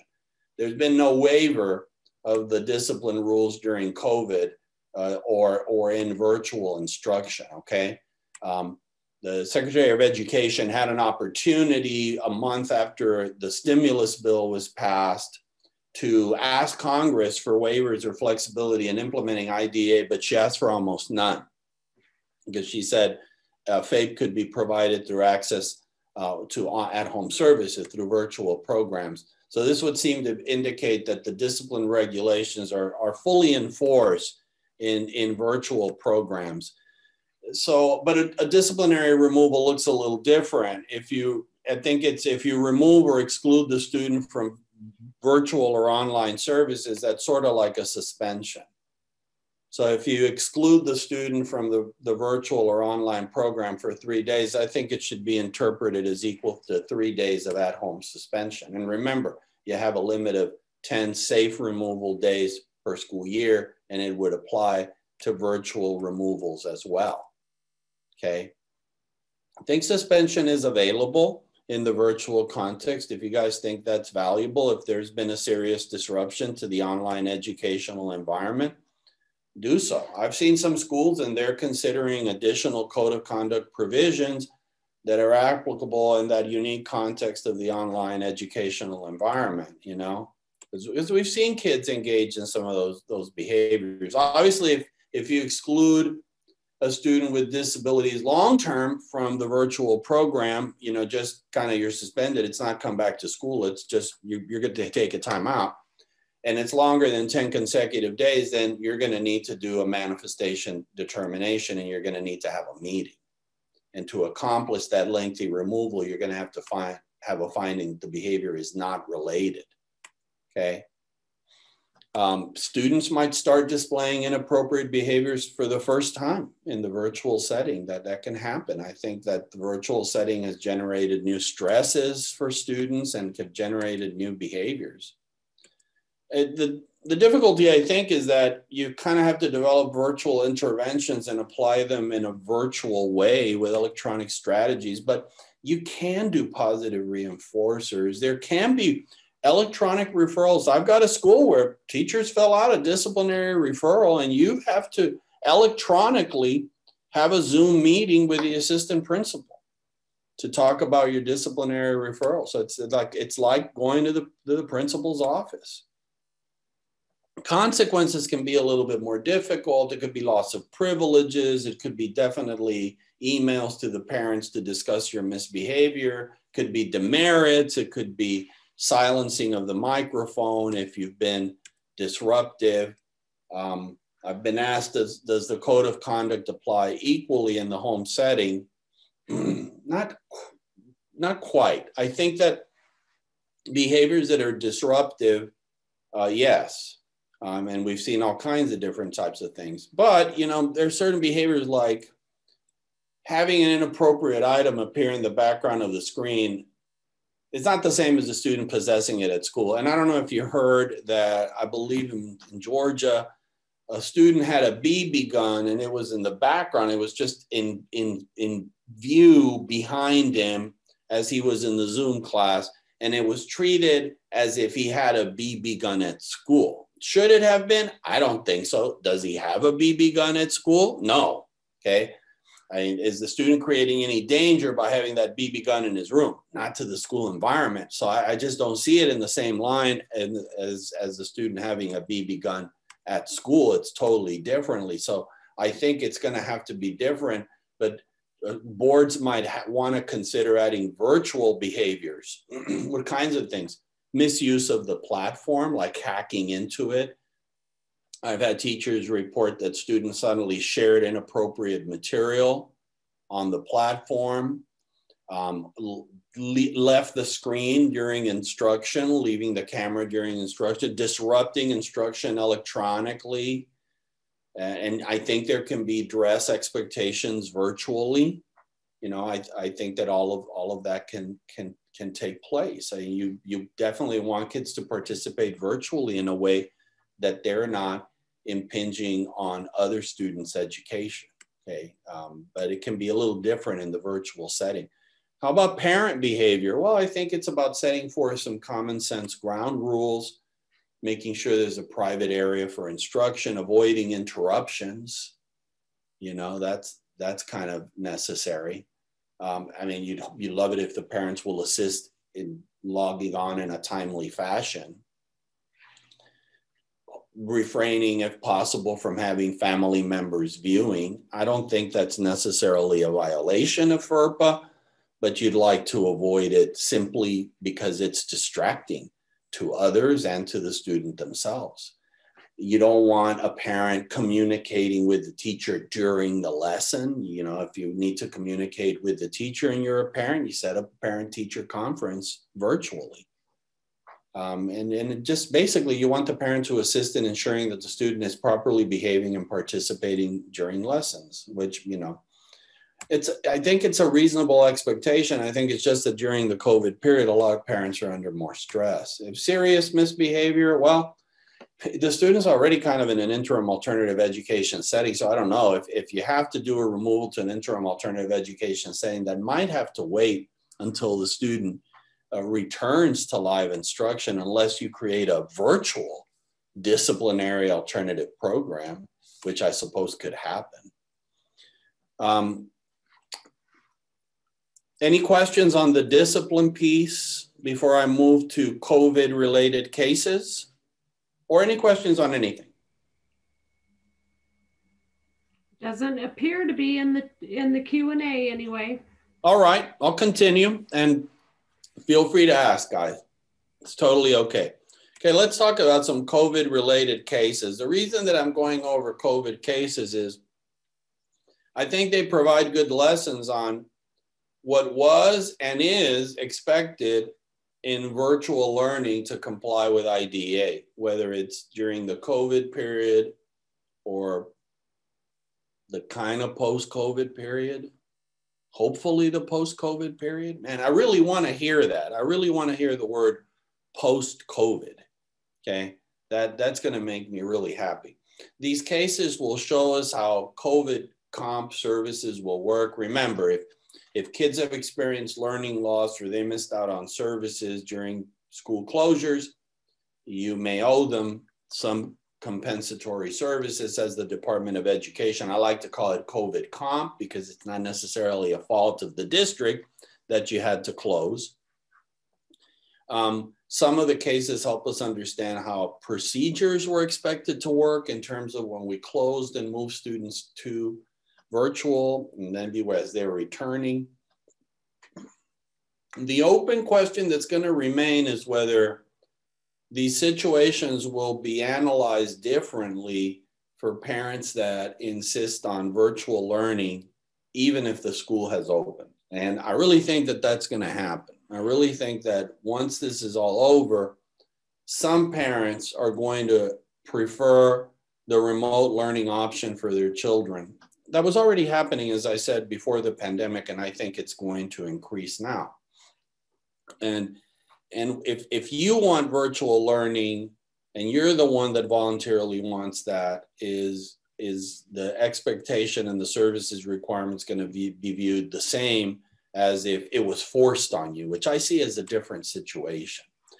Uh, overall, I see the hearing officers in the courts, as I indicated, as seeming to demand that the schools provide about the same frequency and amount of IEP services that they did um, during online periods as in the school environment.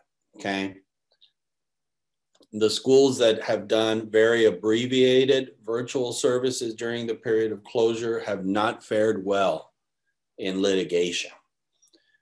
The other point is when you have a student that's refusing or resistant to participate online, you have to demonstrate all your efforts to get these kids to participate, all your contacts with the parents, IEP meetings, trying to figure out what the problem is, trying to address the problem. And you have to have had a willingness and continue to have a willingness to meet, to adjust the IEP to address students that are, are struggling during online periods or during virtual virtual periods of instruction. I think that in terms of the comp services, that it's, it's fair to tell parents we'll address the comp services when the child returns to face-to-face instruction. Although you'll see that some hearing officers have granted comp services even before the school is reopened. And I think schools should start thinking what kind of a process, what kind of a protocol are we going to have in place for considering whether a child needs COVID related comp services? What, what data points and pieces are we going to look at? Certainly think the progress during COVID compared to the progress before COVID. And then how is the student done upon return to school? And what process are you going to use to gather that data? And present it in an IEP team meeting. I do think it's an IEP team decision. Okay. Now, I don't think that a speech therapist on her own gets to decide whether COVID is needed, COVID comp is needed, and how much. I think that's an IEP team decision. It has to be. Ultimately, it's a FAPE based decision, and the IEP team is the boss of, of FAPE. Okay, so let's talk about some cases. Initially, this case came out and scared me a little bit um, it seemed to impose some what I felt were unrealistic obligations on schools during the period of closure. And this is LVB New York City. New York City is one of the school districts in the United States that gets hit with the most kinds of lawsuits. And apparently, the parent in the school district had already had a due process hearing that culminated in a September 2019 hearing officer's order. And that hearing officer's order said this five year old with autism has to be provided in person ABA services, OTPT, and a dedicated aide. COVID hits. During COVID, the school provided the student a tablet device. You know, I indicated earlier, I don't think it's a legal obligation of a school to provide like computer devices to students just because they don't have them during COVID closures, but this, this district did. They provided the student a tablet device, but apparently the student didn't have the capacity on task to sit down long enough to use it. And then uh, the, the student was provided computer-based, web-based services, but the home didn't have reliable Wi-Fi. So it, oh, in some, the student really wasn't, you know, able to avail themselves. And notice what the court said. The court said the district hasn't adequately explained how its virtual services are a satisfactory, satisfactory substitute, uh, nor conducted an evaluation of how remote services can be delivered to the child to meet his needs. evaluation. How are we going to do an evaluation in the midst of a pandemic that's just breaking? Is it realistic that for every child that we're moving to the home setting in March of 2020, we're going to do a prior evaluation before making that determination? I, I'm sorry. This federal judge, he's, he's, we're not in touch with the same reality here. The court said there is a failure to take the student's unique circumstances into account in offering the services. That, that basically the school offered the same thing as they offered to thousands of students. Now that's more on point. That I more agree with them. In you can't discharge your obligations by just saying, you know, here's here's a you know here's a laptop and we're just going to give you some web-based services like for everybody else even though you're five year old uh, and you have significant autism and you're significantly on task i mean what effort to individualize the services for this young man was made and the answer is apparently none so the court orders in-person services to the extent they can be performed safely well i mean if this was this decision was issued right in the midst of the pandemic. And you know what the situation was like in New York. It was dire. Okay. So I, the court is ordering in person services. Who knows if they can happen? And, and the court said, um, oh, I want an, an AT evaluation because you guys didn't do an AT evaluation. I mean, I, how, is that really the fault of the district? How does one conduct an AT evaluation if in person assessments and observations can't be safely done. It's not feasible to do. Again, I'm just I just think we're out of touch with the reality here. This this this court judge. So they tell the parent, you pick the private providers willing to provide in-person services in case district staff aren't willing. They're not going to be willing. It's not safe to provide in-person services. You can't make a five-year-old with autism wear a mask. And you're and you're going to go into a home environment you know, with strangers. I mean, that's just not feasible safely. It violates every CDC rule out there. Uh, so the, the court finds against the parent. But what, what kind of struck me about this, this very early COVID case was it's not responsive to the realities on the ground. This idea that you have to evaluate and, and hold some sort of report based evaluation to see how you provide services virtually I mean, that doesn't make sense. Now, an IEP team meeting and figure out for this five year old with autism, okay, we're going to have to adapt the program and we're going to have to provide some Zoom thing that's very specialized, that's in short lessons with parent assistance. There needed to be more thought here. And uh, unfortunately, I think New York was working in volume and, and wasn't able to accomplish that. Okay uh, I moved to District of Columbia, and and this is a student, and he's in special ed due to another health impairment, and he missed some OT and some special ed service during the COVID closure.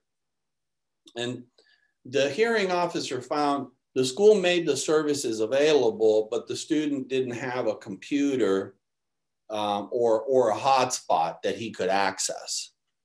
Um, and and the, the parent basically was pressing well the school has an obligation to provide a computer and the hearing officer said show me a case I mean, show show me something that says we have to and the, the, the court concluded I, I just have no authority that indicates the school has an obligation to provide stu- a student with a laptop or wi-fi just in order to access virtual services during the pandemic. And like I indicated to a previous question, I think a lot of school districts did this voluntarily, but a legal obligation for every student in the United States to be provided a laptop for use at home. By the way, a little aside from this, I'm finding that my school districts that were kind and, and provided laptops to parents during the period of COVID closure. Um, then at the start of the school year, um, the, the parents told the school, oh, well, we moved to another school district and so forth, and the laptop is gone. And is there really a viable way for the school to sue the parent to recover that laptop? I mean, they asked me, and I told them, not really. Not really. I mean, the, the cost of even finding the parent, serving them with process, suing them to get the laptop, I mean, call them and try to get it back. But is there a real, you know, viable and practical legal mechanism to get that laptop back, you're never going to get it back. I'm sorry, that's that's just not going to happen. Okay. Um, the hearing officer ultimately in this case said, well, the OT services that were missed were consultative only, and overall the student didn't make progress, so they didn't find a denial of FAPE. And, and here's more on the laptops. I note that although many school districts decided to provide laptops to, to students that didn't have one, no court or hearing officer has up to now ruled that LEAs have a legal obligation to provide this laptop. There's another District of Columbia case, and again, a hearing officer said, I'm not going to order a laptop. Um, is it an assistive technology device? Remember, those are, are devices that increase, maintain, or improve the functional capabilities of the child. For a child to need it at home, they would have had to have needed it at, at school before. And, you know, it's, it, that AT need doesn't necessarily change uh, when the child goes into, into the virtual setting. They might need a little training on how to use the computer, perhaps that they haven't used before. But the, the laptop, the provision of the laptop, that appears to be something that schools should investigate if they can, if they have the resources, but uh, it's, it's not a legal obligation. Okay, the Lenape case out of New Jersey, um, this, this parent had a student with very medically fragile type of conditions that apparently required a one-on-one full-time nurse at school. And, and then, then they, it went virtual. and the parent said, I want a nurse at home during the day provided by the school during the school hours.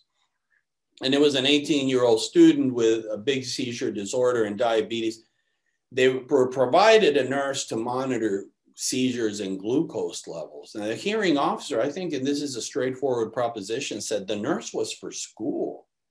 The nurse isn't required to access learning. The nurse is just required to maintain health and safety at school so that the student can remain at school. But that need kind of goes away when the child is in the home setting.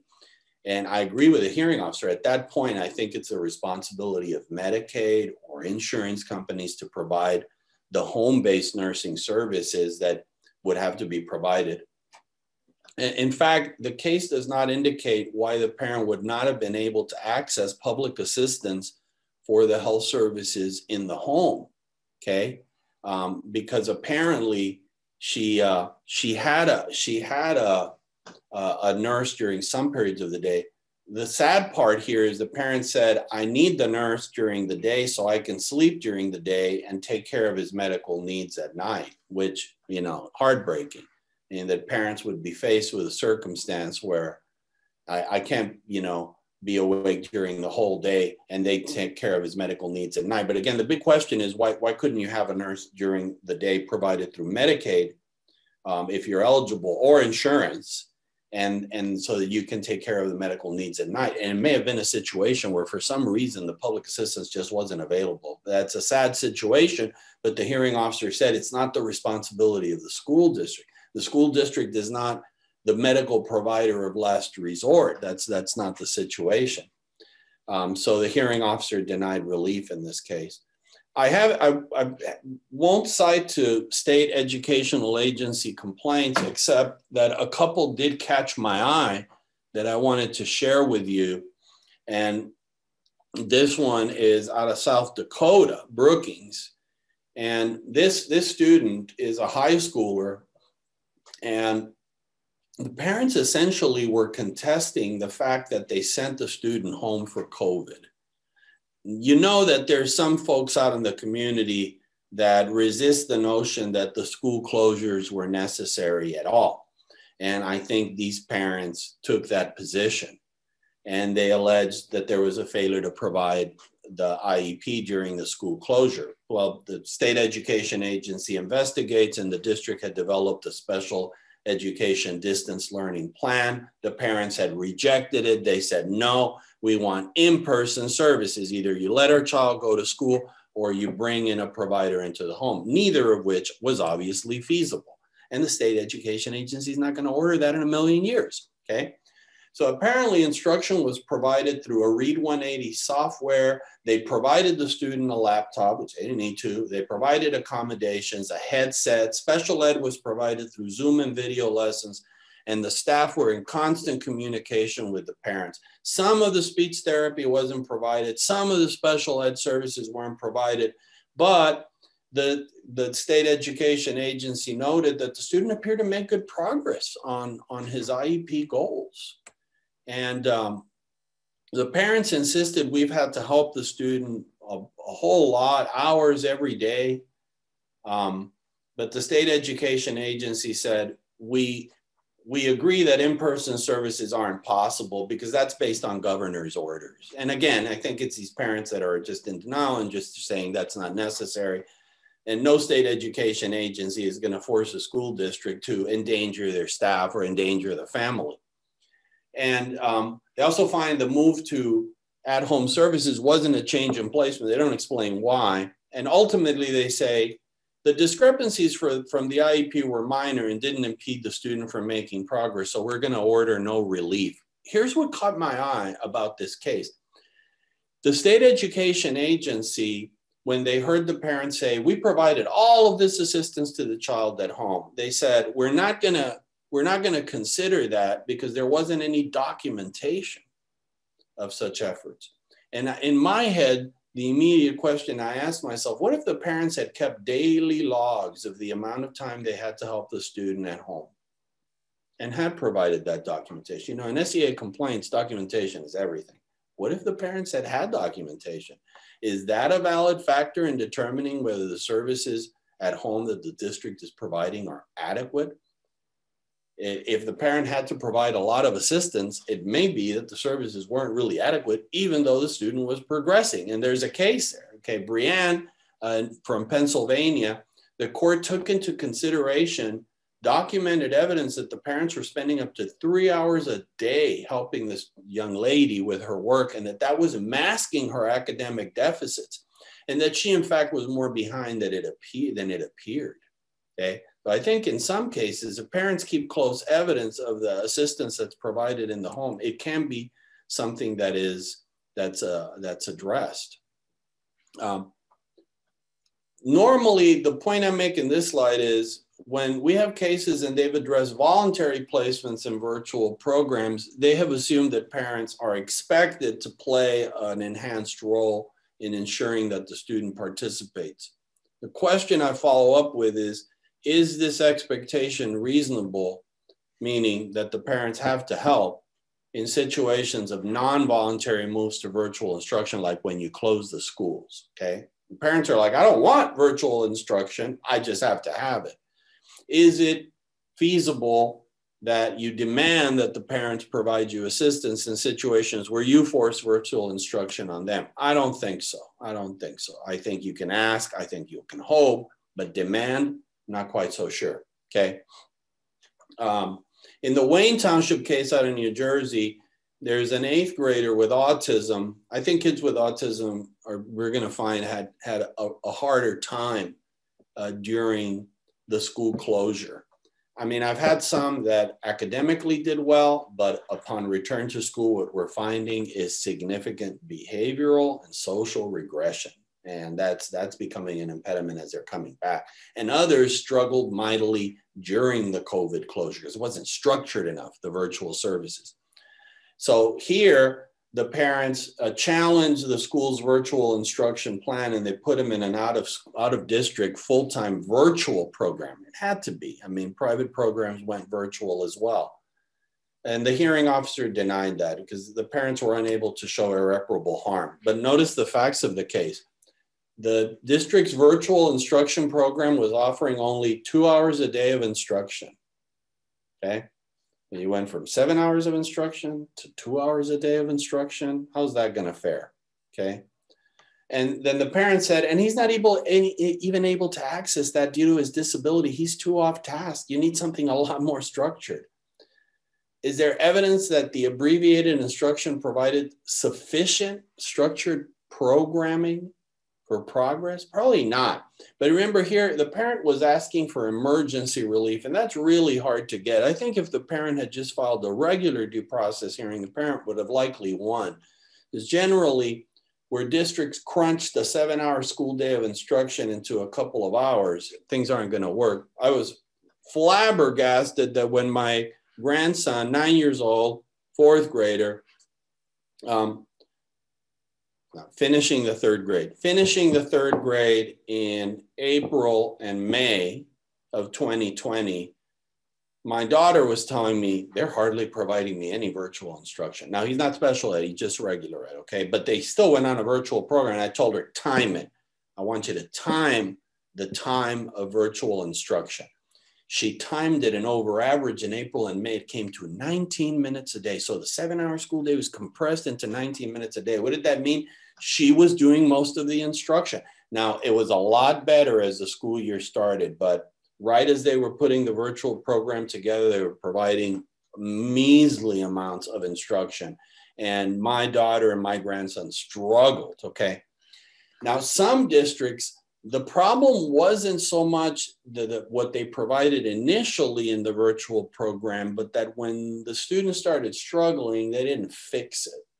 And uh, there's another district of Columbia case. I got lots of cases. Okay.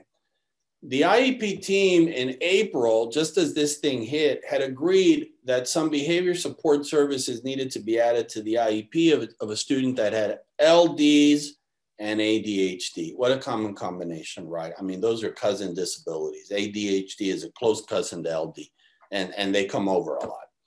And uh, they weren't added to the IEP until June the behavior support services and the behavior intervention plan. And meanwhile, the student had loads of problems because he needed the behavior support services even in the live setting. Then he goes virtual. He doesn't get the behavior support services for April, uh, May, and, and on until June, so two to three months. And he missed loads of assignments and he had lots of problems self initiating and getting on the website and doing the work. And the hearing officer said, it you delayed in incorporating the behavior services and that amounted to a denial of FAPE. At least those two months you messed up and he the hearing officer ordered independent tutoring, notice 150 hours and 20 hours of compensatory counseling. So when there's failures, what the hearing officers generally will find is you lose and here's the compensatory services you have to provide. And if you violate the orders of the hearing officer, you're going to get in trouble you're going to get the district in significant trouble. Um, notice this case. This is this is a sad case. I mean, anybody can spot from a mile away that the district is going to lose in a situation. This is Norris School District. You have a seven-year-old with autism and speech language impairments, and all that's provided for him during the period of closure is packets, packets of materials for a seven-year-old with autism.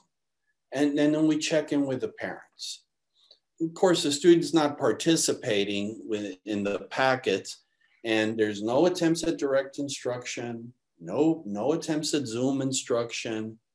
Staff just said, oh, he's just not going to like those things. So for about two months, no services, no benefit, no nothing is going on. I mean, you take a child with autism off the structure of learning on a daily basis, and, and it, you're going to regress pretty substantially. And the hearing officer said the LEA has messed up here. He should have collaborated with the parents, find ways, some way to provide direct instruction. I mean, you're going virtual, but sending packets home is simply unlikely to be sufficient for a child with significant disabilities. And you don't even hold an IEPT meeting.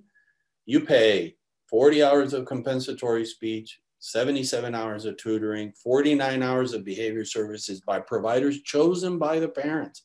Ouch plus the FAPE services that the child is entitled to normally. Compensatory services can be difficult to provide. Okay. Um, I'm going to skip the point on PWN, on private uh, prior notice. The only points I wanted to make in that slide is that some hearing officers said as the students move from live face-to-face -face instruction to virtual instruction due to COVID, you have to do prior written notice. And other hearing officer said, no, you don't have to do prior written notice because this applied to everybody. So you know how clear it is? It's clear as mud, okay? So, was prior priority notice required or not? Who knows? I think you should have done prior priority notice, both to get the students into home instruction and then, then to move them back. I think the safest way is to consider those to be changes in placement, which you either do through meetings or IEP amendments, and you provide priority notice, both there and back, both to home and back, okay? Um, in the East Windsor case, another situation of just not fixing a, a, a broken situation, another student with autism. You see a pattern here? Um, he's a fifth grader and he's provided limited direct instruction during the COVID closure because he resists learning and he hates non preferred activities. That's always a challenge with students with autism. They like their preferred activities, but then getting them to do a non preferred activities, yikes, you're going to have to time, set a timer, warn them, give them prompts visually, have a visual transition plan to move them. But you have to think of all those things. And the parent and the school were arguing about what cha- you know what to do for the student because it was challenging because he was resistant. But the IEP team didn't meet; they only kind of talked with the parents. So that that's that's going to kill you there. The hearing officer said, "Notice that after you did have an IEP meeting in June and you put together strategies, things improved." Well, you know what that means? if you'd met earlier in the spring, it might have made a difference. School, you lose. You should have acted faster. Remember, go back to what I told you earlier. Um, special ed law is if there's a problem, do something. Okay, here there was a problem and they kind of just watched it and talked instead of having a meeting and doing something. Okay. Curiously, the hearing officer said, I'm not going to award comp.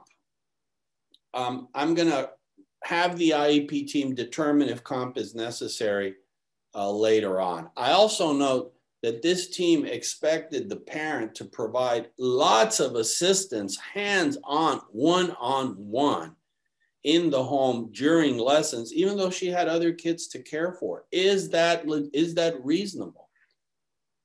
when it's not a voluntary virtual placement. Is the virtual placement forced on the parents? To what extent can schools expect parents to assist with remote learning during a closure? Expect? No. Hope? Okay. Ask? Yes. But expect? I don't think so. Okay, more cases on services. Moving to the other side of the United States, uh, to California, Long Beach, visited there. Um, here you have a 16 year old with intellectual disability. Normally, he gets five hours a day of special ed instruction, and suddenly in virtual learning, it got turned to four hours a day. And the district said, well, we just had trouble arranging for the services and the staff during the COVID closure.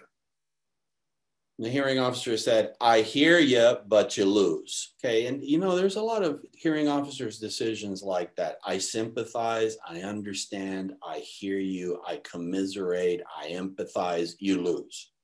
Because it's about the kid, you know. And uh, and the hearing officer said the circumstances are unavoidable. I understand your problem, but you're going to owe the student some compensatory services. So he ordered private speech services and 10 weeks of, of private reading instruction. And of course, it's difficult to argue that 20 cent, 20% reduction in special ed services isn't a material lapse.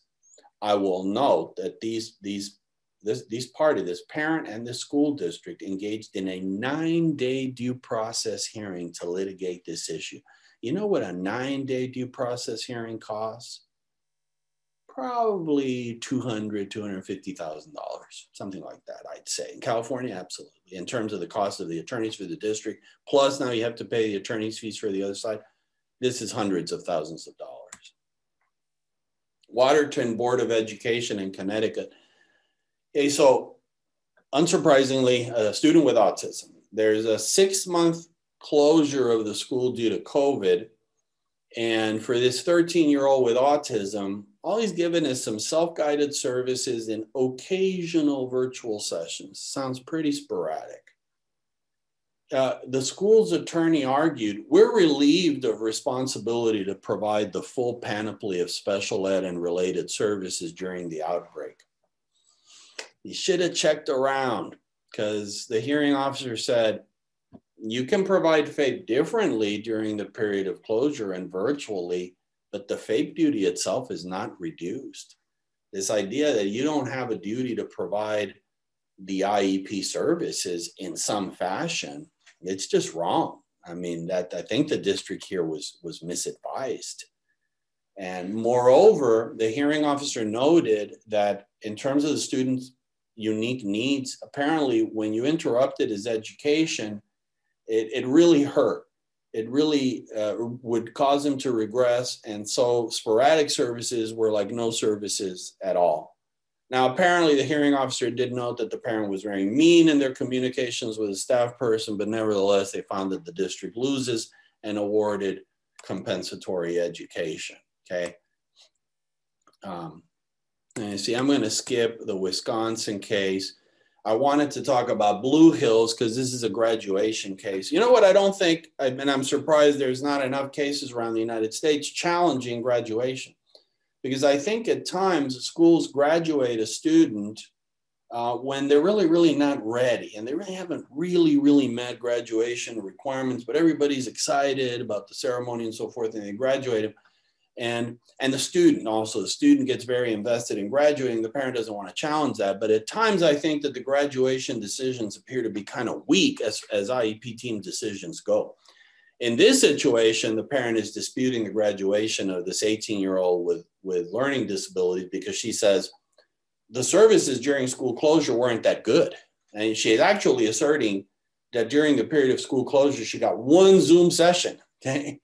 And it was with a reading interventionist that wasn't even trained in the program. Now, the district said, true, we didn't provide but one Zoom session, but we offered compensatory services and we uh, offered access to a virtual reading coach. So we offered something. And the district here curiously says we should dismiss the case because it's really early on in the pandemic until school reopens. And the hearing officer says, no, I'm not going to dismiss the case. Um, dismissal without a hearing would be inappropriate. Now, one would think the hearing officer would consider well, the district did offer compensatory services, and it's appropriate in some cases to delay graduation. Can a student who graduated in May of 2020 but missed out on two months of, of some special ed and related services get compensatory services? I actually think they can because they're entitled to that back FAPE. That graduation didn't necessarily erase that. And there's a couple of United States Department of Education letters that stand for the proposition that those compensatory services obligations survive graduation and even aging out in some situations. Okay. Now, I wanted to cover a, a, a couple of cases of situations where the parent refuses to cooperate because I think that I don't know if it's surprising or unsurprising, but there's been lots of situations that have been reported by my clients to me where the parents just there was no communication. As the school closed and virtual services were initiated they just never responded and the student never logged on not not even once. And they they wouldn't respond to text emails messages nothing. Okay? And there was a situation in hawaii hawaii although you know not a big state you guys are a fairly small state. I think your population is still under 300,000. Uh, but, but Hawaii is also a fairly small state. I think only 1.2 million total. But they have significant amounts of litigation, which thankfully you guys don't have.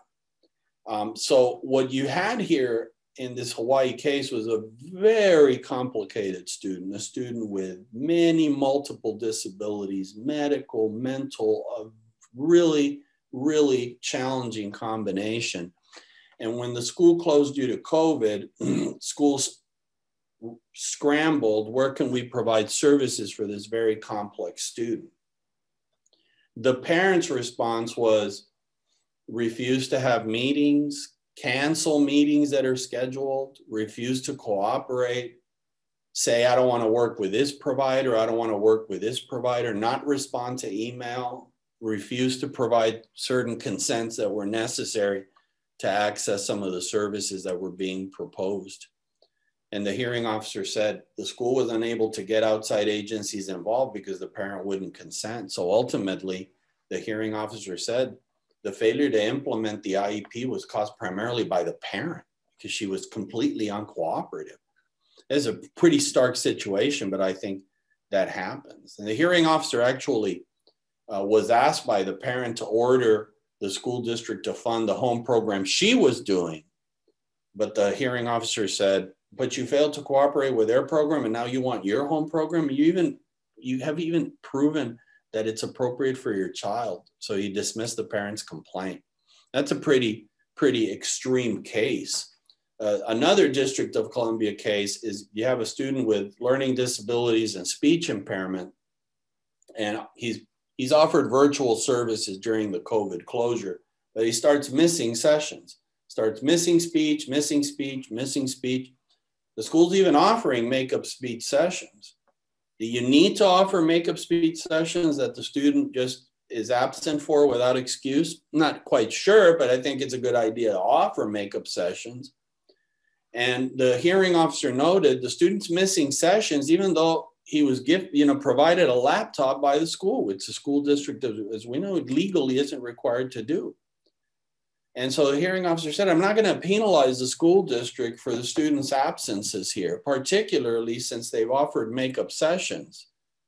And, and the, the students just, he's just not participating. There's a situation where if you're not participating as a student and you've been given the opportunity and you've been offered make-up sessions, don't come here complaining about compensatory services.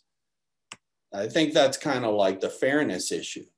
Did you take advantage of the services you were offered? If yes, and they weren't sufficient, maybe you're entitled to comp. You didn't take advantage of any of your offered services and now you want a bunch of comp? I don't know. You might be out of luck. Uh, a couple of cases on remedies in the time that we have. Um, moving to, to Washington State, to the other side of the United States, have the Lake Stevens School District. And and here the parents of a student with a bunch of a bunch of conditions a difficult student you have uh, and by difficult i mean challenging in terms of the presentation of their disabilities not attitudinally. This is an 11 year old that, and he's got intellectual disability and autism um, adhd anxiety mood disorder speech issues. And the parents arguing he wasn't provided an appropriate education during the school closure and really needed a residential placement. The problem was that no residential placement was available due to COVID. You know, across the United States, the residential placements that had kids had to send the kids back home. The residential facilities, I mean, their staff, they closed in the same way that the schools closed. There couldn't be that proximity. And the hearing officer said, I'm not going to award compensatory services because we can't estimate when he's able to return to a placement. We don't know when even a, a, residential placement will become available. Why am I ordering compensatory services at this time? It seems premature. I might take the case under consideration later on, but but the compensatory services must be determined once the student returns to school, which I think is a, an appropriate way to look at it. Let the kid return to school. Let's find out if they naturally recoup. Let's find out what the state of the data is in terms of their progress a few weeks after they return to school. Okay. But I must say that other hearing officers have not been reluctant to award compensatory services even before the school reopening why the inconsistency? The legal system, the hearing officers, the courts, they're just they're just dealing with the unprecedented nature and challenges that were foisted on special education due to the pandemic. And initially, when something big happens, the, the courts and the hearing officers, they'll, they'll be inconsistent. And, and in time, their decisions will coalesce against some uh, around some consensus ideas, but not at first. And that's what we're seeing.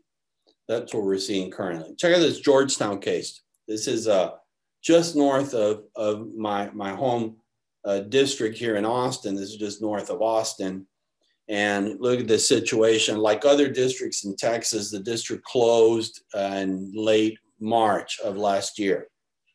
Our um, positivity rates were, you know, jumped through the roof pretty pretty fast in, in Texas, and, and it was not a good situation for quite a while. Things improved slightly, and then in the summer, things got worse, significantly worse. So we've, we've gone through actually some mini waves here in Texas. Initially, the parents uh, were offered speech through teletherapy, good, but only one session was provided to the student that normally got speech. Then the hearing officer said speech teletherapy was discontinued for ethical and equity reasons. I don't get it. What does that mean? I spoke to the attorney for the school district, and she said that the school felt that if we can't provide speech to all, we're not going to provide speech to one to some. That would have been my that wouldn't have been my call. My call would have been if you can only provide speech to some, provide speech to some.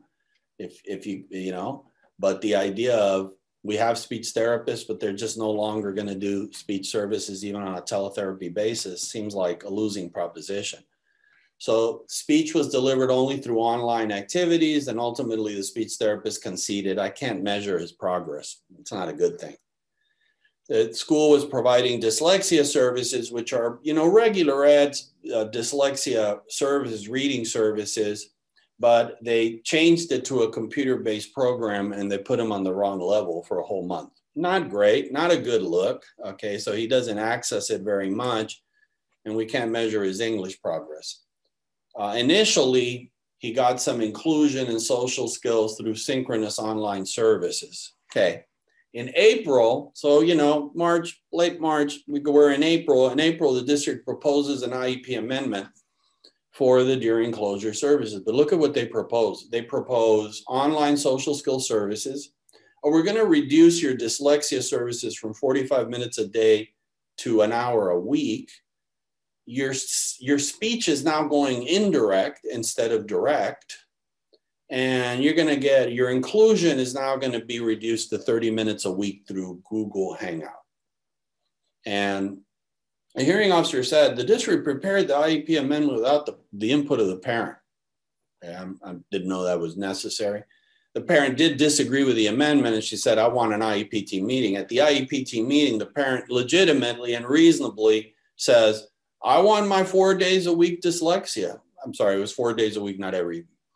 And, and I don't want that program that they put him on, and I want another program, and I want my weekly direct speech. And the IEP team, which is an ARD committee in Texas, they said no. Um, no to implementation of the IEP. Uh, the hearing officer says you modified the services without the parent's consent and you haven't yet determined whether the child needs compensatory services, but I know at the time of the hearing officer's decision, the school's not even open yet. So he actually has a problem with the district waiting until sometime after the student returns to school before deciding on the comp services, which the previous hearing officer just said that's the thing to do. This hearing officer says, no, I don't like this idea of, of waiting. How can you actually analyze how much progress a student lost and quantify it and see if there's any natural recoupment when the student returns to school? Doesn't, doesn't, make, doesn't make a lot of sense. So the hearing officer says you failed to provide speech. That's true. You just chose not to do so. You failed to provide appropriate dyslexia services. True. True. And uh, the IEP amendment was inappropriate because it was a unilateral proposal made without parental input. I have a problem with that. Okay. The way that I read the IEP amendment provision, it says a district can propose an amendment to the IEP and you send it to the parent and see if they agree. And the parent can agree, or the parent can say no, or as in Texas, we say hell no. Okay. And I want a meeting, which is exactly what happened you know, the parent was proposed an amendment, the school, dis- the, the parent said no, so they had a meeting. Okay, so I don't know what's wrong with that procedurally.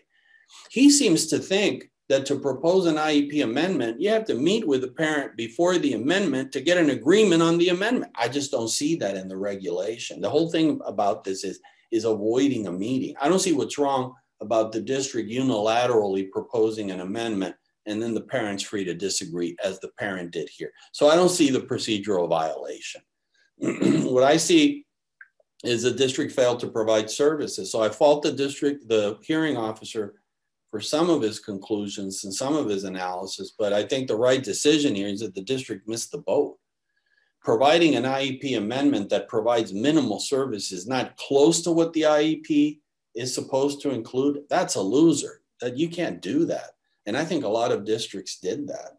Watch out. I mean, did you did, did you have students who normally got provided, you know, three hours of special ed instruction through the day and that got minimized in the virtual program to 30 minutes? Be careful. And it, generally, you're going to find that those students really missed out on a lot of progress and may be entitled to some significant comp. Okay. So uh, I don't think it's inappropriate for districts to wait until after the kids return to school to make a better and more appropriate qualitative comp determination. But this hearing officer seems to fault the district. Um, I don't know that that's the right idea. Again, disagreement between the hearing officers on here. Overall, I do I do feel that the hearing officers do appear to be demanding that the schools provide the same frequency and amount of IEP services during the virtual sessions. So think on that, okay? Did you provide roughly the same amount of special ed instruction on a virtual basis that the student would have received on a live basis? Maybe the inclusion services were on a different format, but about the same time. Then you're probably good to go. If you provided very abbreviated instruction, meaning you really condense the special ed into small amounts of virtual programming and expected the parents to kind of fill in the gaps, I think those are the more dangerous situations. Danger in terms of you're ultimately going to find, geez, this student, he's missed out on a lot of progress or he's regressed or he's really not where we would expect him to be. By the way, on that point, okay, so a special ed student is not where we would expect him to be right now had he been in live programming. I've had some educators tell me, well, every regular education student fell behind. True, but the special ed student can't. He's got a federal statutory right to an appropriate education. And Secretary DeVos did not ask for FAPE flexibility of the Congress. She could have. She could have asked for some good faith standard, a modified FAPE requirement. She didn't. So the, the students are owed full FAPE as if they had been at school. And, and that's, that's the reality. Special ed students are not like regular education students. They have the backing of a federal law and the funding, okay?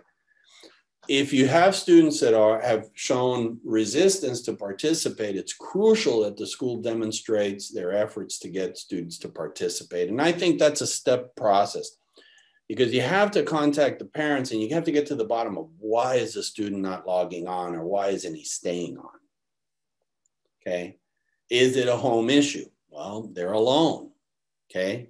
Um, is it that the parent is there but just isn't assisting? Is it that there's a need for some behavioral intervention some positive reinforcement something? Is there a need for the cha- a change in the services and, and you have to contact the parents and have IEPT meetings to figure out what the problem is and how you can attack the problem. I think that the the losing situation is the child struggling, struggling, struggling, not participating. We're just watching it and not having an IEPT meeting to do something. And that segues into the point I'm making at the bottom, which is the IEP teams, as you provide virtual services, you're gonna you're gonna encounter problems. Just like during live instruction, you go through a school year, fine, fine, fine. Now there's a problem, and you have to address it through IEP team meetings. That's going to happen when you provide virtual services, and you have to be willing in the same way to meet and figure out how do we adjust the services to address the needs of a struggling student you know what's the problem what do we what do we do about it it has to happen during the virtual program. I think um, you may have reopened by now. You should be thinking about addressing the special ed students who appears to be way behind, who appears to have lost ground, who appears to not have made the progress that was expected. Because I think at even at the start of the COVID closure, schools should have told parents, we will address potential compensatory services when the school returns face to face. and as I indicated before, and I want to reiterate, you need to have a protocol in place for considering how are we going to make decisions on, on comp? What, what are the data points we're going to look at?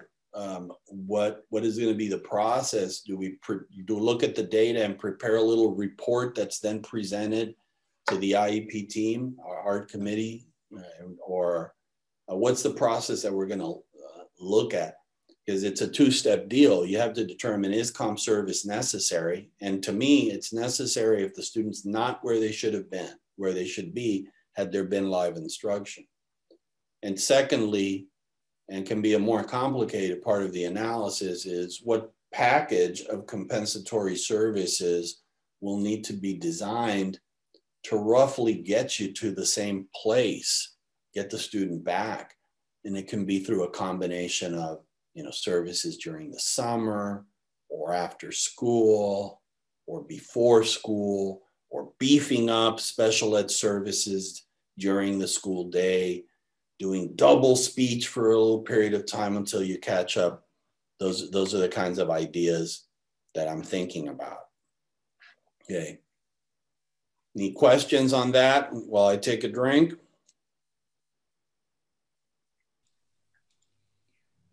We are not showing any questions in the Q&A, Jose. Thank you, Ms. Eisenhower.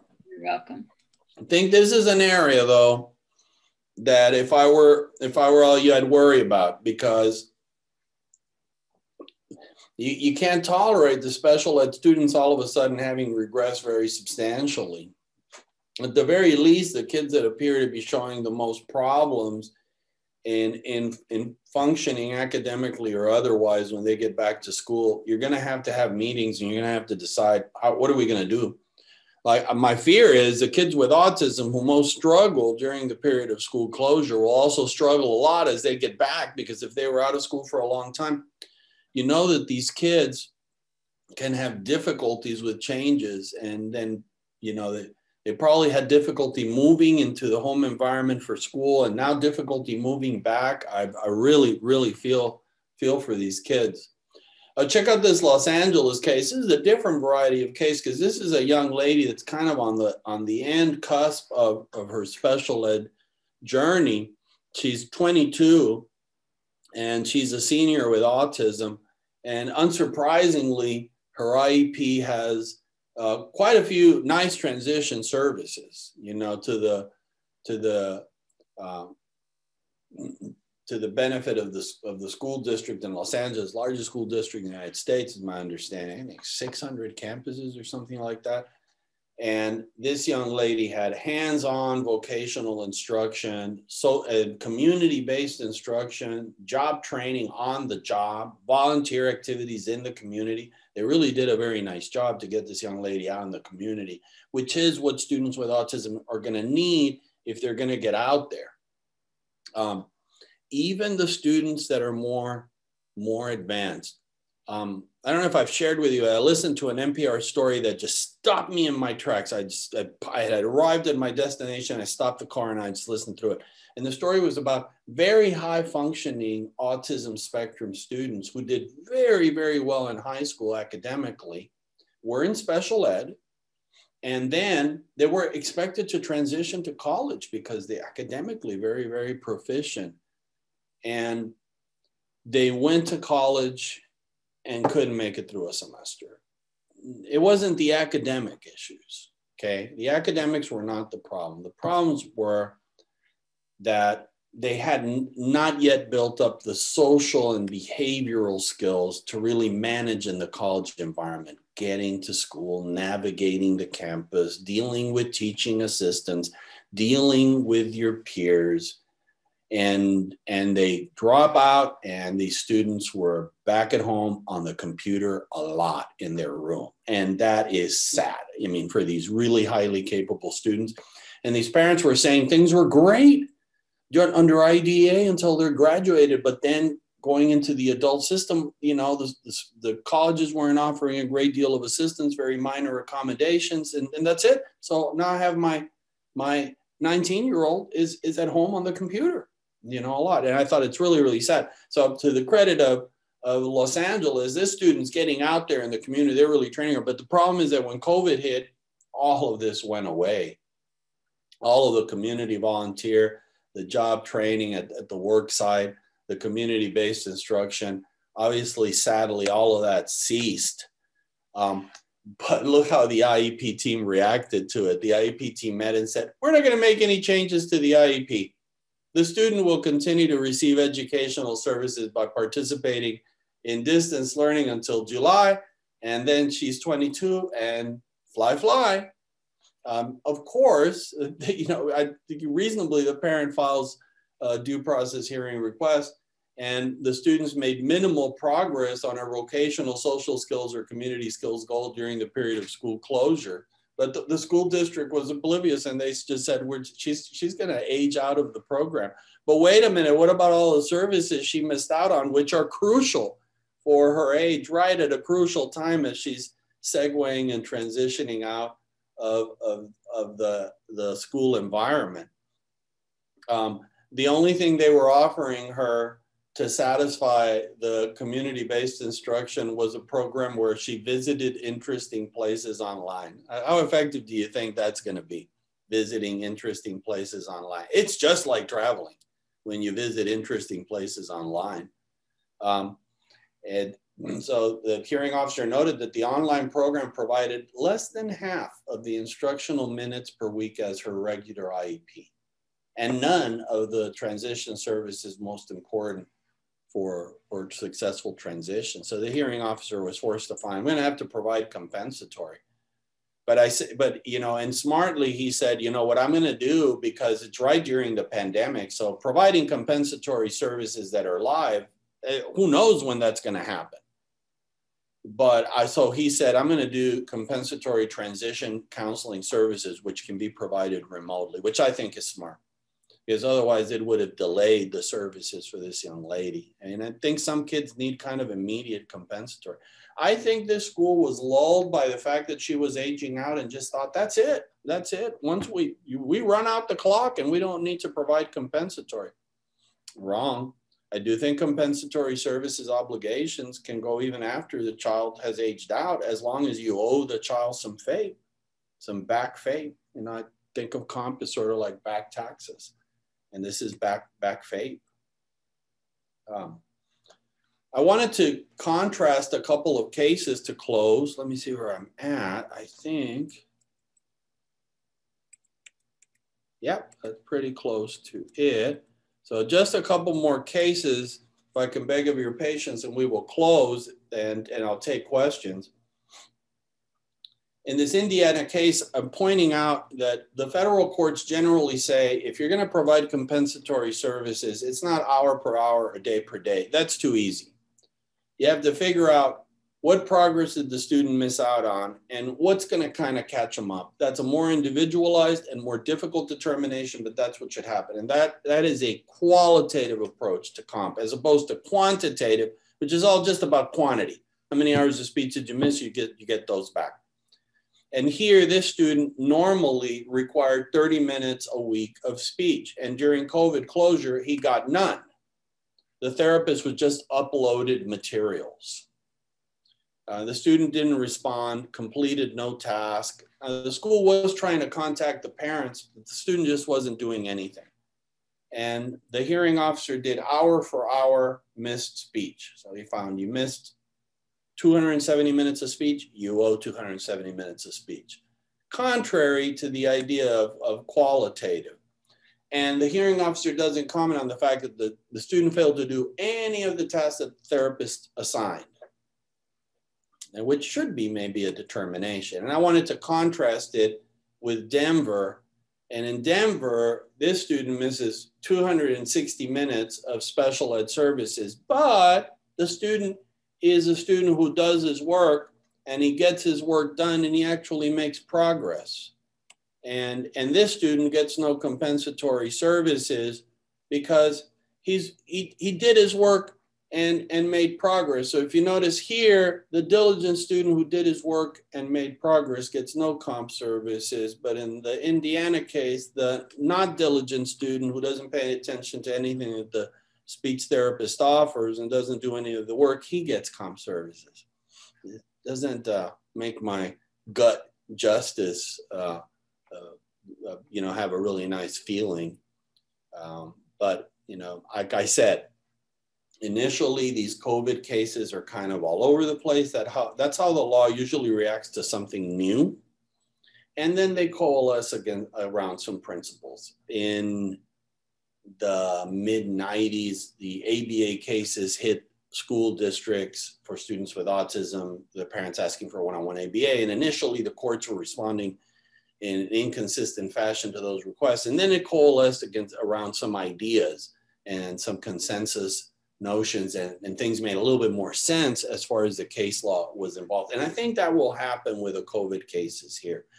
I hope that overall the discussion gives you food for thought on your virtual programs and kind of things to look for, things to worry about. I find that with special ed folks, you, you worry, you worry about things, but I find that part, a lot of what my task is, is rearranging your worry because sometimes you're worried about the wrong things. You're over worried about things that maybe you shouldn't worry so much about. And you're under worrying about some things you really should be worried about. So I've, I'm kind of a worry rearranger, and I hope I've, I've rearranged it in some fashion today. But we do have a few minutes. I know it's kind of later in the day, but Ms. Eisenhower, any questions that you see out there? Anybody have anything they want to ask before we close down for the day? There's nothing currently in the Q&A. Maybe people are tired. I don't know.